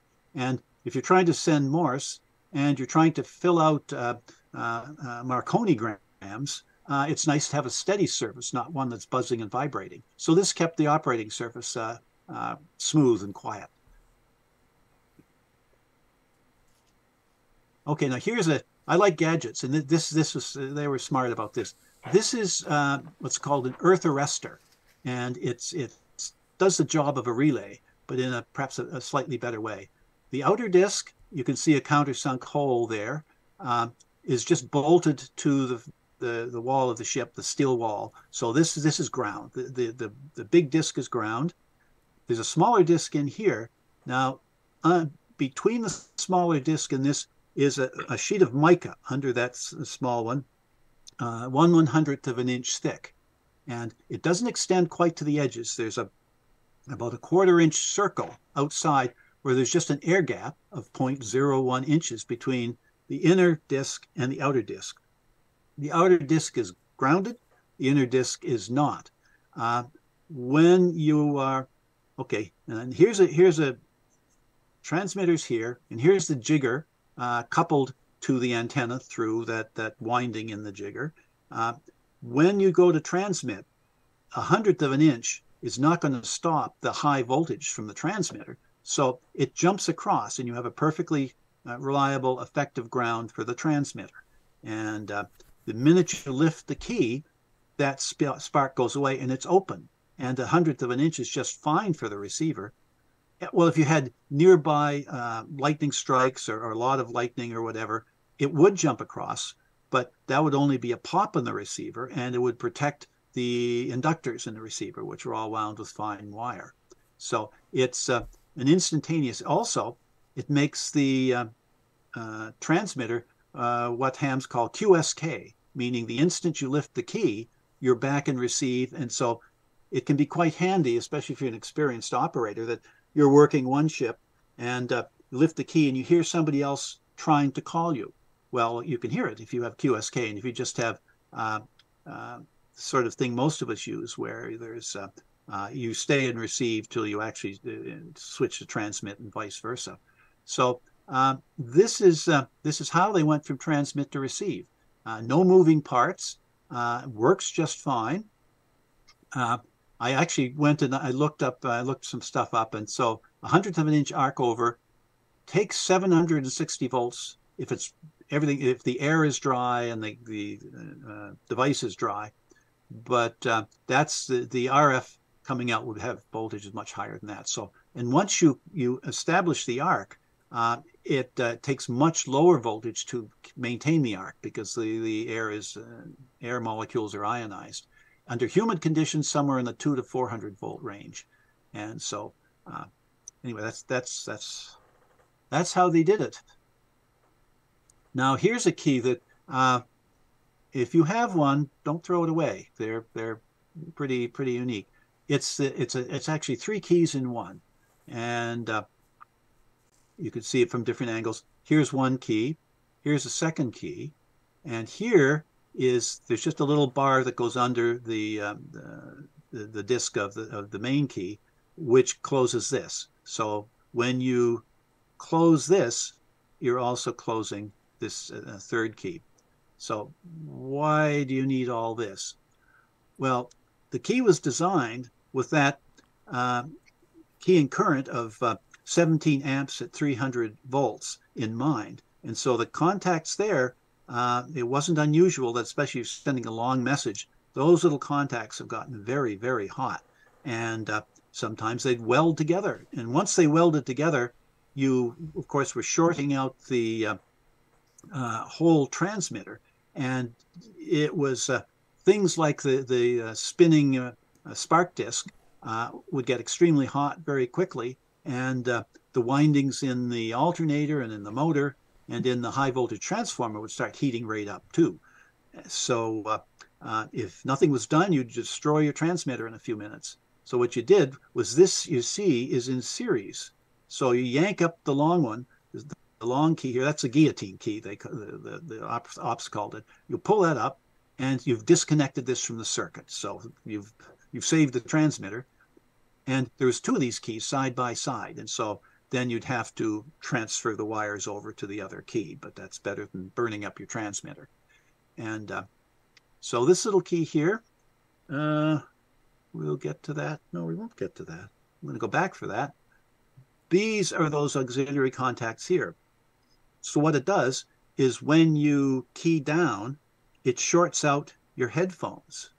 And uh, so uh, you can imagine if uh, how loud the receiver would be if you were listening to your own transmitter, five kilowatt transmitter, uh, with no automatic gain control or no noise clipper or noise blanker or anything like that. You get you get the whole business in your ears. So uh, the minute the key goes down, the auxiliary contacts short out the headphones. Again, to me, it's uh, there's a lot of cleverness in this thing. I mean, okay, some of the other gadgets. This is the little tuning lamp, which I mentioned before, and this is just a shunt resistor. I mean, it kind of looks like an inductor, but it's a resistor. And so your RF would go in one terminal, out the other, and uh, you the resistor was put in series with a little filament in the bulb to find the setting where you couldn't burn the bulb out, but you had enough light to, to see changes. And here's the magnetic key relay, just we'd call it a relay today, to take the load so that you didn't have to worry about uh, your your um, contacts uh, melting. This this had considerably heavier contacts than the one on the on the normal key.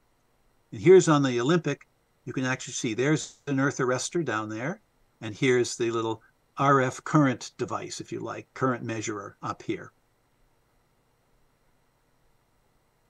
Uh, and here's this tuner.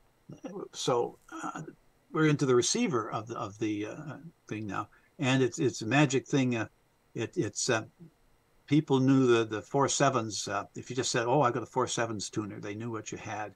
And it was the C.S. Franklin, a young fellow, um, hired by Marconi, and he developed this. Each of these is uh, a standard air variable cap. It would look pretty familiar, but they isolate it by putting them in these these brass canisters. And the knobs on top have fine verniers here, so they're very resettable.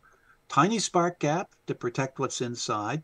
Uh, this tapped a coil. This is the antenna matching coil here. And so you could get the best match, which you just by the loudest sound.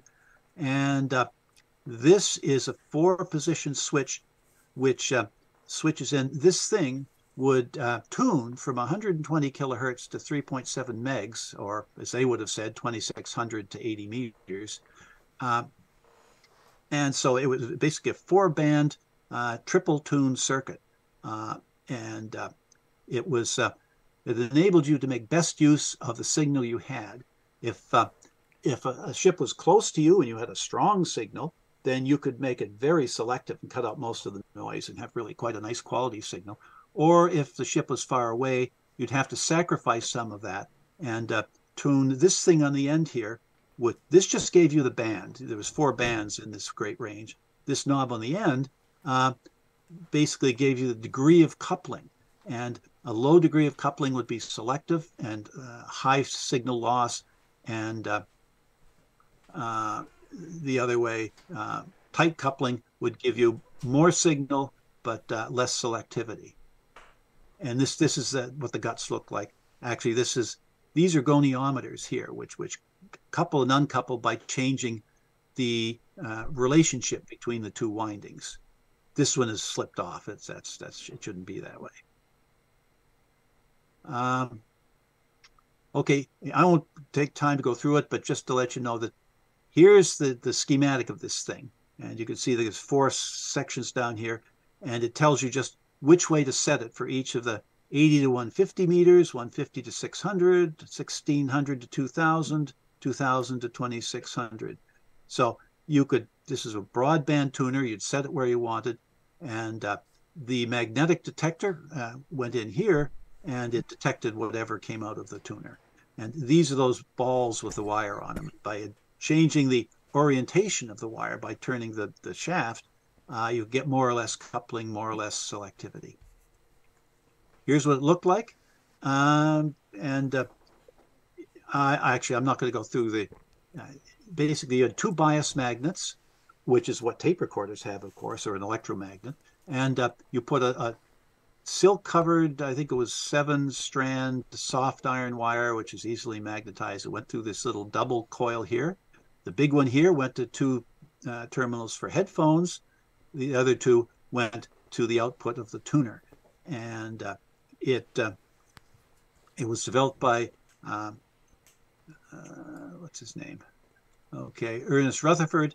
Uh, I won't go through it all, but in uh, the Magnus put a pre-bias on the thing so that the wire was slightly magnetized, and then when you put a signal on there, the signal going in one direction would increase the magnetism, and in the other direction would cancel the magnetism, bringing it back to zero.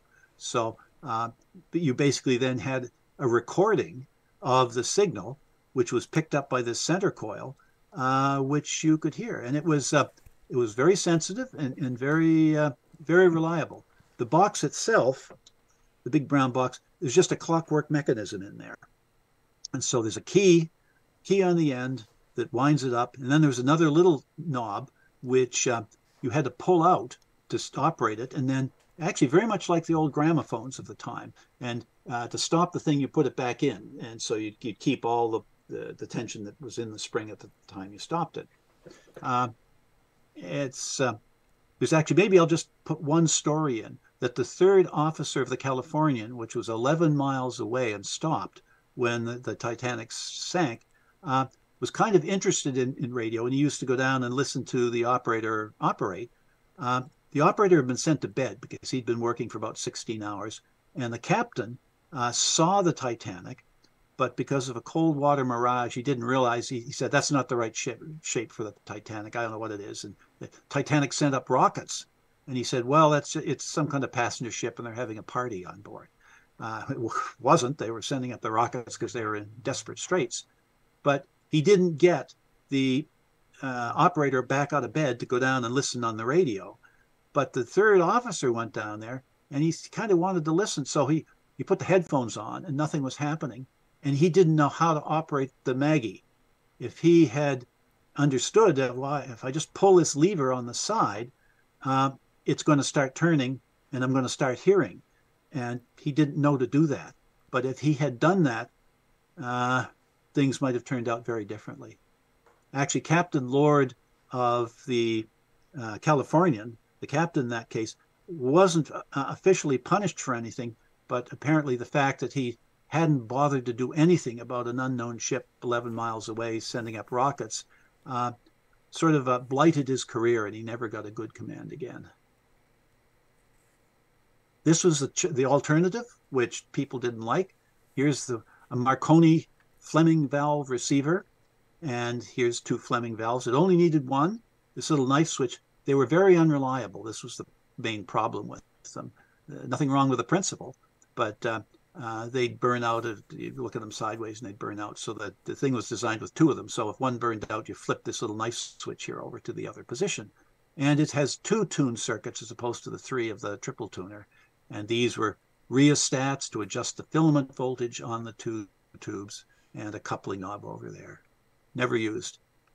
What people did, a lot of people did, was this. Um, these were VT tubes. Uh, the uh, they were made by uh, what was the company? It's a U.S. company, um, and these were much more reliable. These were uh, early diodes. VT tubes were the VT was a, a series for the U.S. Army, and uh, they were made by uh, anyway a good dedicated company for making specialty things like vacuum tubes were at the time, and uh, anyway, so these were much more reliable. But anyway, they weren't available at the time that the Titanic went down. And here you can see the condensers and the, the vernier they had on top, so they could they could have presets uh, and uh, the, you know really most of these uh, uh, radios were set on one frequency and never deviated. So you just you just took down notes about all the correct settings, and you only had to go through the tuning once. Uh, here's another little thing I found that uh, we all know how useful it is if you're checking out a receiver to have some kind of signal to listen to, right? So here's the earth arrestor. This is the stuff we've seen before. Here's the key and the relay. Uh, and here's the earth arrestor. And before this, you have the takeoff to, and here's the Marconi multiple tuner with the Maggie uh, and the headphones, the uh, headphone shorting circuit, and a, a, phone condenser, which was really kind of a, a tone control. You could use different positions and get uh, more and more muffling of the high frequencies, use whatever was most intelligible. But over here, you see another key and a little dooflinkus in here, which is actually, uh, it's a buzzer. And uh, it produces a tiny spark, just, I think, just like the sort of buzzers that people used to have in their, their homes or their apartments. You come up to the door and you push and you hear a zzz, and the person knows that there's someone outside. Uh, and so it just sits here and it's not actually connected to the tuner, but it's right near the input. So you have a little key here and a dry cell. And so if you wanted to check to make sure that the Maggie was working and the multiple tuner was working and your headphones were working, you could just push this little key. This would buzz and you'd hear the buzz in the headphones. So this was a, a, a receiver headphone detector tester, which they stuck right in there. And uh, okay, here's a here's a picture of again CGI, of course, of, of the whole setup or a different part of it. This hole in the ceiling, our, our inset, this is where the antenna wire went through to the the Bradfield uh, uh, insulator and then up to the enormous antenna above.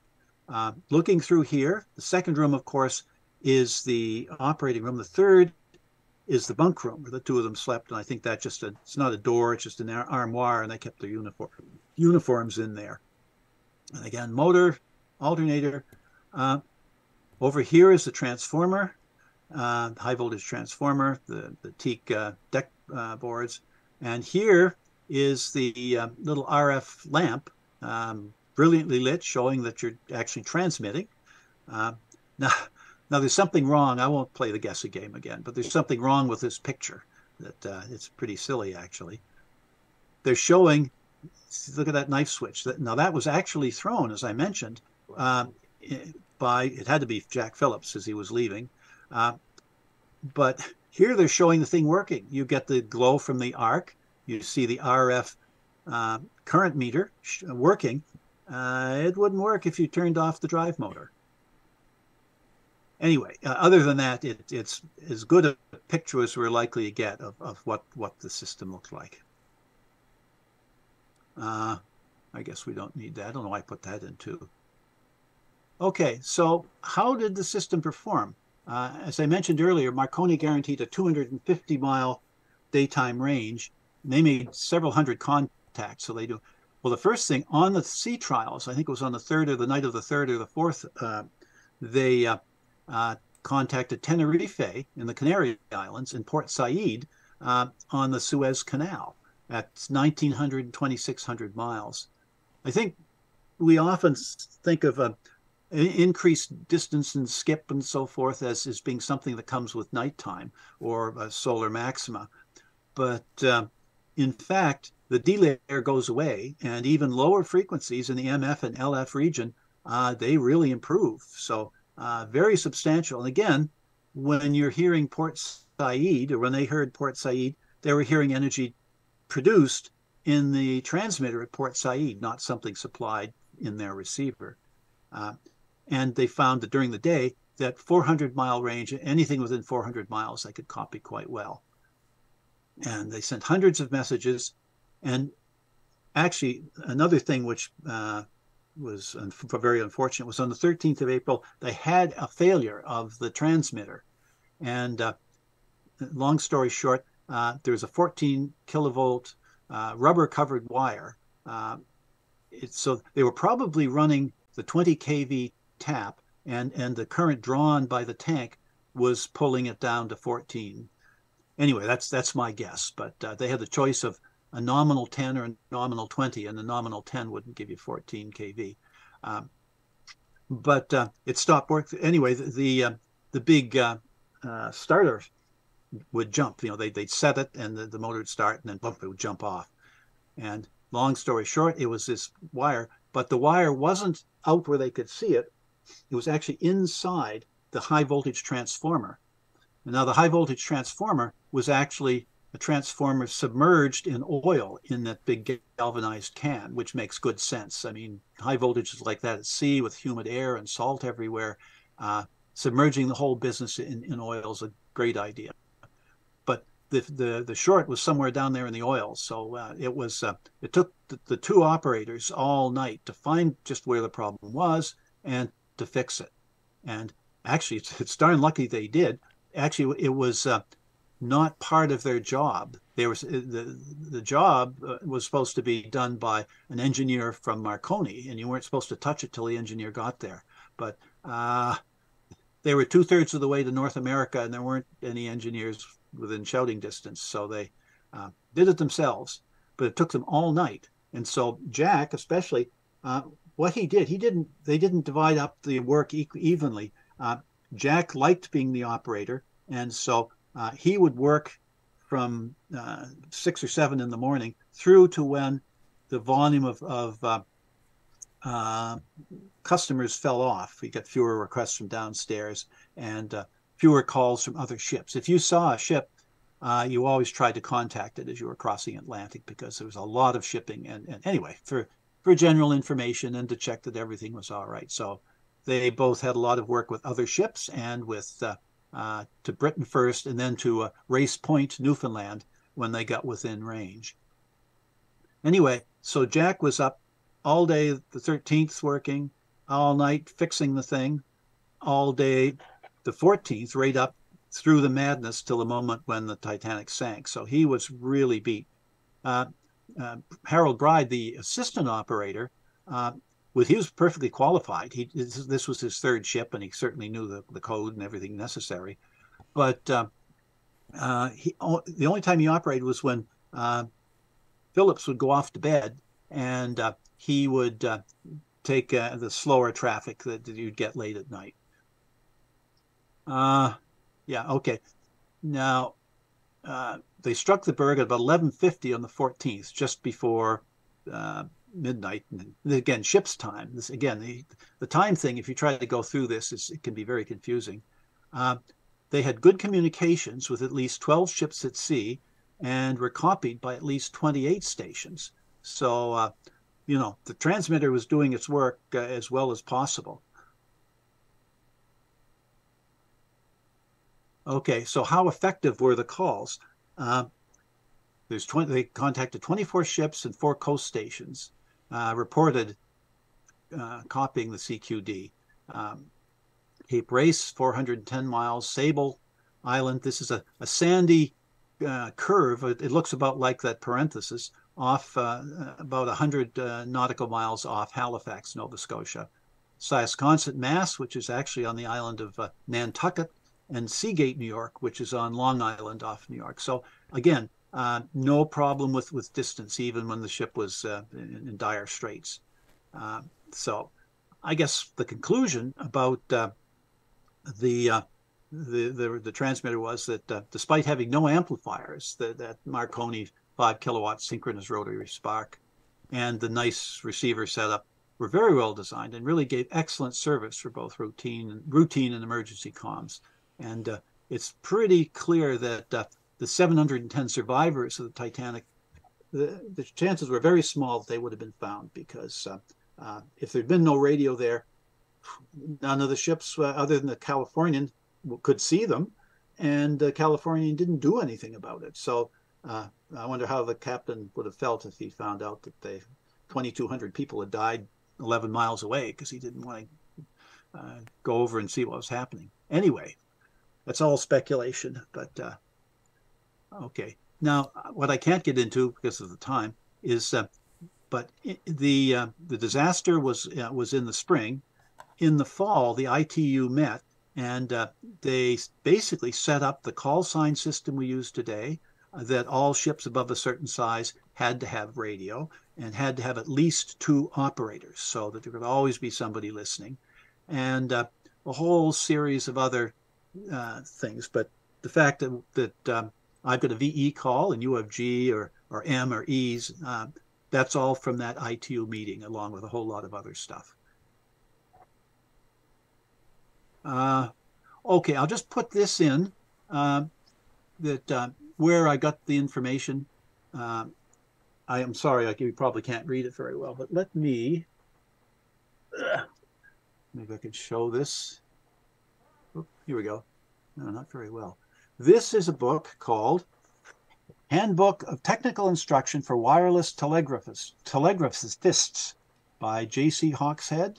Um, second printing 1918, but actually this is the 1915 version.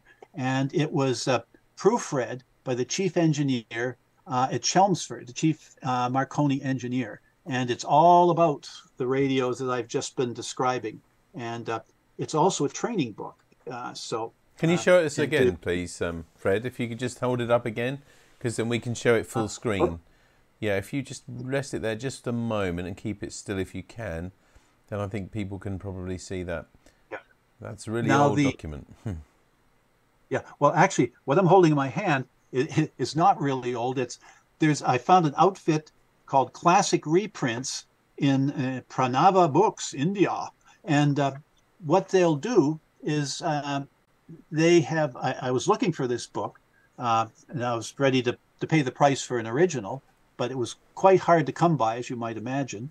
And uh, this uh, place says that we have a copy and we will print on. They printed this for me. They, they didn't have a run of 2000 or anything. That you order a book and they print it for you.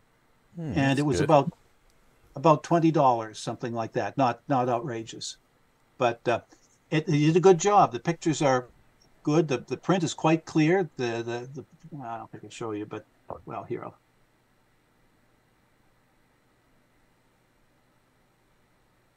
Hmm. Uh, so anyway, uh, I just got this a little while ago, and, and so I didn't have it before, and it was uh, it took quite a long time to accumulate all the information needed, but this book it, was wonderful. It confirmed a lot of those numbers about uh, uh, the uh, uh, side tone frequencies and, and how things worked and, and so forth. It was all all in there, and proofread by the chief engineer at Marconi. So uh, it's as I think as close as we're going to get to the truth. I was going to say, yeah, definitely there's there's one other thing, David, that if, if people are interested, that, that I it's a couple of pages, and it's uh, from the New York Times front page, Friday 19th, April 1912. And it's a, a statement made by uh, Harold Bride, the assistant operator, who was uh, uh, uh Jack Phillips uh, died. he he died. At, it was a sad business that there was two types of lifeboats in the Titanic. There was lifeboats as you would expect them, rigid hull. Then there was collapsible lifeboats. And this allowed them to stack several lifeboats in one place, uh, you know, use good use of space. And the sides were canvas and they had to be uh, set up. Well, the collapsible B was very close to where the radio shack was on the boat deck. Uh, but there was no sailors there who knew how to, to set it up and, and so forth. And there was just all these civilians m- milling around. And so when the Titanic sank, uh, it just uh, slid off upside down into the water, but it still floated. And uh, uh, uh, Harold Bride, the assistant operator, was there first. No, actually, Jack Phillips apparently got there first, and he got on. And Bride was he fell in the water. He was holding onto an oarlock, trying to help pull it in, and it suddenly a, a surge of water came along from the bow and washed it in, and he went in and he went under it, and he was underneath it with no air bubble apparently, uh, and he managed to get out, but he slipped away from it, and he was kind of floating around for a while, and, and uh, uh, eventually he got on and uh, was in miserable state, but stayed alive till the Carpathia showed up, and when he hobbled forward because his feet were damaged, uh, he walked by the body of, of Jack Phillips, and he sort of always said afterwards he thought that Phillips died because he was so exhausted from all of the the many many hours without sleep, where he he'd gotten uh, a couple of nights of sleep when Phillips hadn't. Mm.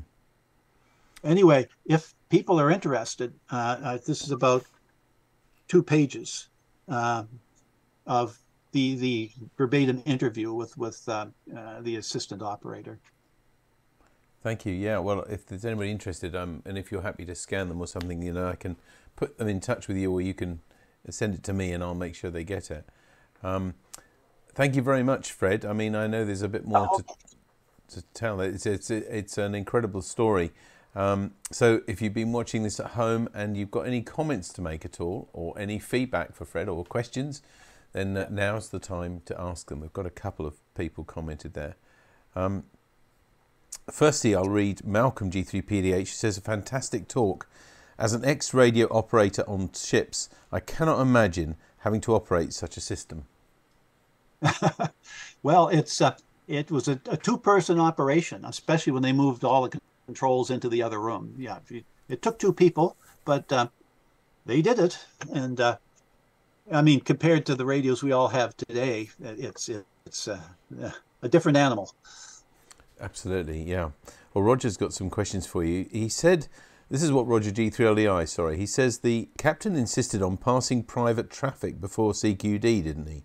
Plus, there was a fire that was burning before they started, or before they sailed, sorry, which weakened the hull. Do you know anything about these? Um, I've heard that. I've heard uh, that the uh, uh, rivets in the front were, were oh, well, there probably was a fire in the sense that it was uh, extremely common at the time for the coal to be a fire, the fuel, uh, because uh, uh, it, it, would uh, it would be covered up and actually it produced another problem that was carbon monoxide down where the stokers were working. Uh, but yeah, the, the, the coal catching fire and it was a devil of a thing to put out. It happened in coal mines at the time too, and that was even worse for the miners. But it I don't know if there's evidence. I haven't seen uh, anything which says that yes, there was definitely a fire in the Titanic, but uh, if if we had a stoker here, he would know, but we don't. Yes, of course. Um, Roger also goes on to say, "Great talk, Fred. What bandwidth did the transmitter have, and were ships allocated channels because selectivity must have been very poor?" Uh, you're, you're exactly right. The selectivity, well, the frequency for commercial uh, uh use was uh, 600 meters, 500 kilohertz. Uh, and it was, everybody heard everybody. It was, I've heard it described as a giant frog pond, and you're hearing all the different frogs go, and big ones and little ones, ones with different voices. And what everybody was supposed to look out for was the CQDs. And if you if a Oh, I think we've got temporarily, I hope, lost the connection. operation, Okay, Fred, sorry. We just lost uh, your communication with you. Now we've got you back. Don't worry. Um, we just lost you. You were just saying, I think, with Q, uh, CQDs, I think, and then then you went. Could you repeat that, yeah, please? it's uh, yes, uh, there was uh, essentially 500 kilohertz was or kilocycles in those days was uh, the frequency, and, and, the vast majority of marine traffic happened on 500, and uh, nobody had decent selectivity in those days. Uh, and, and due to the lack of amplifiers, because you could make a selective circuit, but it would absorb so much of the energy of the signal that you'd have nothing left to listen to if it was too selective. So uh, everybody heard everybody down there. And uh, if uh, you, you, were supposed to listen very carefully for any CQD, weak or strong as it might be, and if you heard it, you went silent. And uh, there was, I, I, don't think there was a uh, basically a strong, a strong station that heard the CQD would sort of take over and say, uh, I copy you, uh, what can we do, what needs to be done, and, and so on. Incidentally, uh, the when the Titanic uh, struck the berg, it was the first time that both uh, SOS and CQD were used. And uh, it's interesting. Uh, actually, let me just quote from this uh, article that uh, th- this is the voice of, of um, the assistant radio operator, Harold Bride. I was standing by Phillips, telling him to go to bed when the captain put his head in the cabin. We've struck an iceberg, the captain said and I'm having an inspection made to tell what it has done for us. You had better get ready to send out a call for assistance, but don't send it till I tell you. The captain went away, and in 10 minutes I should estimate. He came back. We could hear terrible confusion outside, but not the least thing to indicate any trouble. The wireless was working perfectly. Send a call for assistance, ordered the captain. What should I send? Phillips asked. The regulation international call for help. Just that. The captain was gone.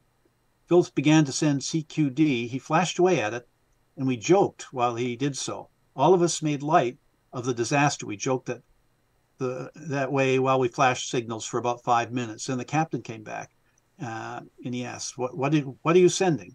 CQD. Phillips replied. The humor of the situation appeared, appealed to me, and I cut in with a little remark that made us all laugh, including the captain.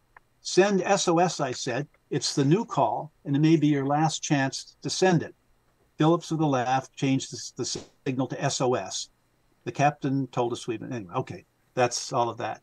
So it was uh, uh, the initiation of SOS. Mm. Oh, incredible to think now. Uh, almost an everyday term for us, but uh, for those uh, people, it was uh, obviously tragic. When we when yeah. we talked earlier at the, the weekend, when we did a quick technical rehearsal, I was surprised to hear from you or to learn from you that um, some of the crew survived? Because I thought that most of the crew had died from the Titanic. Yeah, well, actually, that's probably a true statement that that most of the crew did die. If they were deep in the ship, they didn't get out. Or most, I don't know. I don't know the exact. I've never seen a breakdown of the 722, I think it is, passenger uh, people who got out. How many were crew? How many were, were passengers? But certainly all the people lower down, the engineers and the stokers and the mechanics deep in the ship, uh, they stuck to their jobs and uh, went down with the ship. Yeah. But uh, there was uh, uh, a number of the officers on the bridge were rescued, and uh, yeah. Anyway. I guess being higher up in the ship, they they stood the best chance, right yeah, at the top of the ship. but but Smith apparently deliberately went down with the ship. He he was up there. Of course, he was running around uh, uh, to the bridge and to the radio room and so forth. And uh, he just, uh, he, as a matter of fact, he came back 15 minutes before Phillips uh, ceased transmitting. He came back and said, uh, "You've done a grand job, son. now you've tried to save the ship. Now save yourself." Basically, mm-hmm. dismissing Phillips. Well, Phillips stayed there for another 15 minutes until the water was literally licking around his feet before he got up and he raced out. Yeah. It's uh, easy to think when you see a, a film like Titanic of, in a kind of entertainment environment. You know, it's uh, it's sometimes easy to forget that this was very real and, and really happened. And yeah, uh, you know, you've you've given us a real insight as radio amateurs into the technical side of it and how relatively crude it all was, really. Um, oh yeah. You know, I mean, the sparks, as, as uh, Roger said, you know, that the bandwidth must have been huge of those transmissions, really. Oh, it was. I mean, with a modern radio, you you would have heard the the signal. Uh, people used to say DC to daylight, and uh, just yeah, you, would hear it up VHF, UHF, right on down to VLF. And of course, that's another reason that uh, you didn't want to make the receiver too selective without amplifiers because you're cutting out a lot of the signal. In other words, uh, today, if you, of course, if you look at the scope scan of uh, what a, a, modern transceiver puts out, you have a uh, basically a flat band with no response and then a lovely sharp spike. And back in those days, it would have been a huge um, a hill, a shallow hill. And so most of your signal would not have been on any one frequency. Yeah. I mean, by the way, I must say one of the things, the facts that stood out to me was that you said that the antennas in total uh, was a, to try and give an idea of scale of the size of the Titanic, it was about half a mile, I think you said which yes. is, I, I, mean, I find that hard to conceive that you'd have half a mile of, of, of wire to make the antenna. Extraordinary. Uh, we're coming to the end of our, our time now. Uh, just a couple of more points for you, though, Fred. Um, John G- VK2ATU says there's a marvellous Titanic museum in Belfast, Ireland, where the Titanic was built. So, possibly when you're next over to this part of the world on a visit to see your daughter or something, it might be somewhere to go. Um, and also, Malcolm G3PDH says, "Have you read a book called Voices from the Titanic, which were inter- excuse me, which were interviews of just about everybody?" No, I, I have heard of the, the book, but no, I haven't read it. That uh, I should put that on the list. It's uh, yeah, I'd be interested in that. Thank you. Incidentally, there, there's one other thing that um, your the listeners might be interested in, and that is that before COVID, just before, um, a, group got together, uh, Titanic Incorporated or something they were, and decided they wanted to rescue the radio out of the Titanic. And they had to go before a judge, and the judge agreed that they could do it. And the thing is that the Titanic is just disintegrating, and, and most of the radio is long gone. It, it, it, took a dive down the grand staircase, and what's left is uh, it would be very fragile. But uh, anyway, um, things changed during the two years that we've been plagued with COVID, and uh, they've decided not to do it. And uh, I think the permission was actually revoked too. So I'm I'm actually, I I see the the ship as a memorial, and and you mm-hmm. should be. You don't go rummaging around in a cemetery. Why should you go rummaging around down there? No, and it looks like as well. Many people have been able to reconstruct what everything was, and the Marconi Company, and all those records, and and yes. using CGI and things as, as yeah, I think I'm with you. I think it, it should be left yeah. as a memorial. And and what they found is that actually uh, things like leather and cloth survive perhaps better than you might imagine. And they found quite a few examples of a pair uh, on the, the ocean floor, a pair of shoes together as they would be on your feet, uh, and, a, and a coat or a cloak or something or other uh, in mm. front of them. So, you know, you're looking at one of the passengers or one of the crew. Yeah. So anyway, no, it, it's it's uh, go and look is one thing, but to, to, dig into it, there's a chunk of the the the side with some portholes in it that's in Las Vegas now. Somebody went down there and helped themselves, and there's a fair amount of crockery which is has come up too. But uh, no, I don't think that's a good. I, I anyway, I disapprove.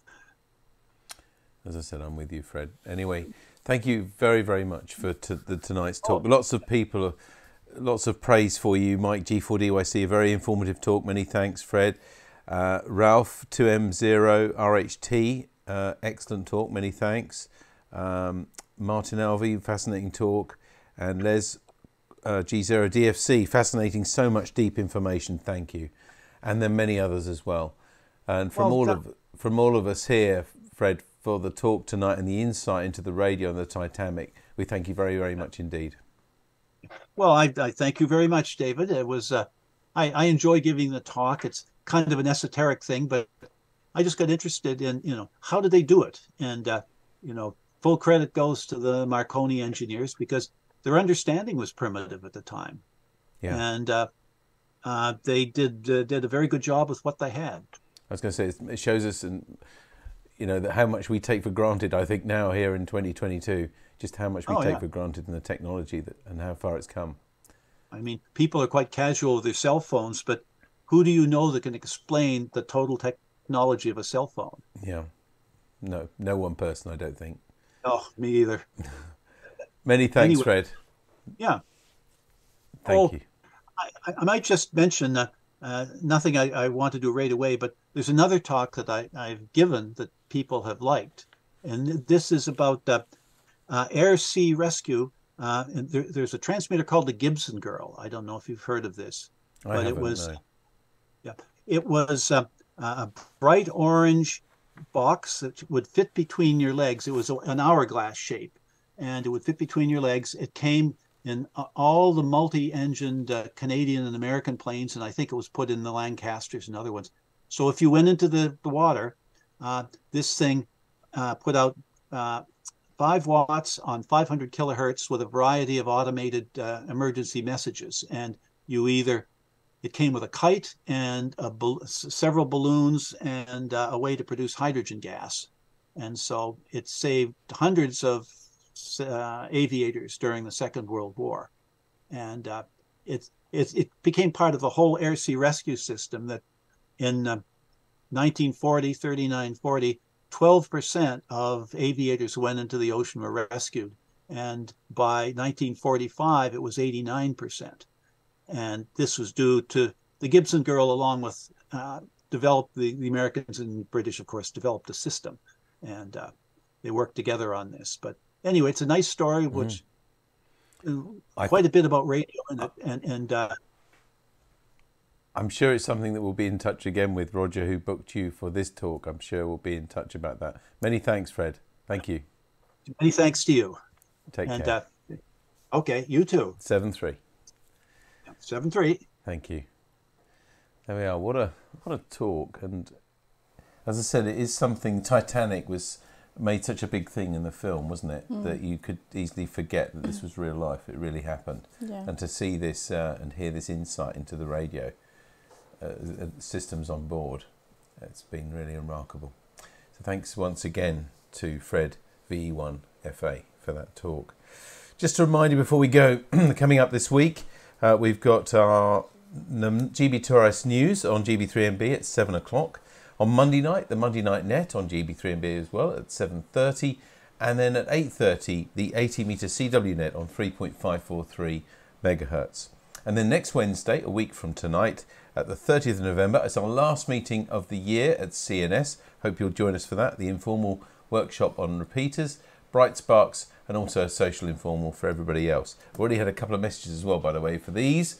So if you are interested in any of these, and uh, Paul, if you're watching as well, we've certainly got some takers for you, but do let us know. Um, and we'll be back again, by the way, in two weeks' time here for NARC Live on the 7th of December with a talk on space weather with Rob AD0IU.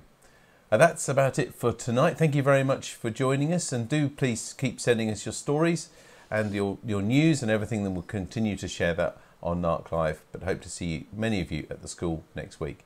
But from now, from Tammy, Tammy M0TC Bye bye. and from me, David G7URP, take care of yourselves, look after each other.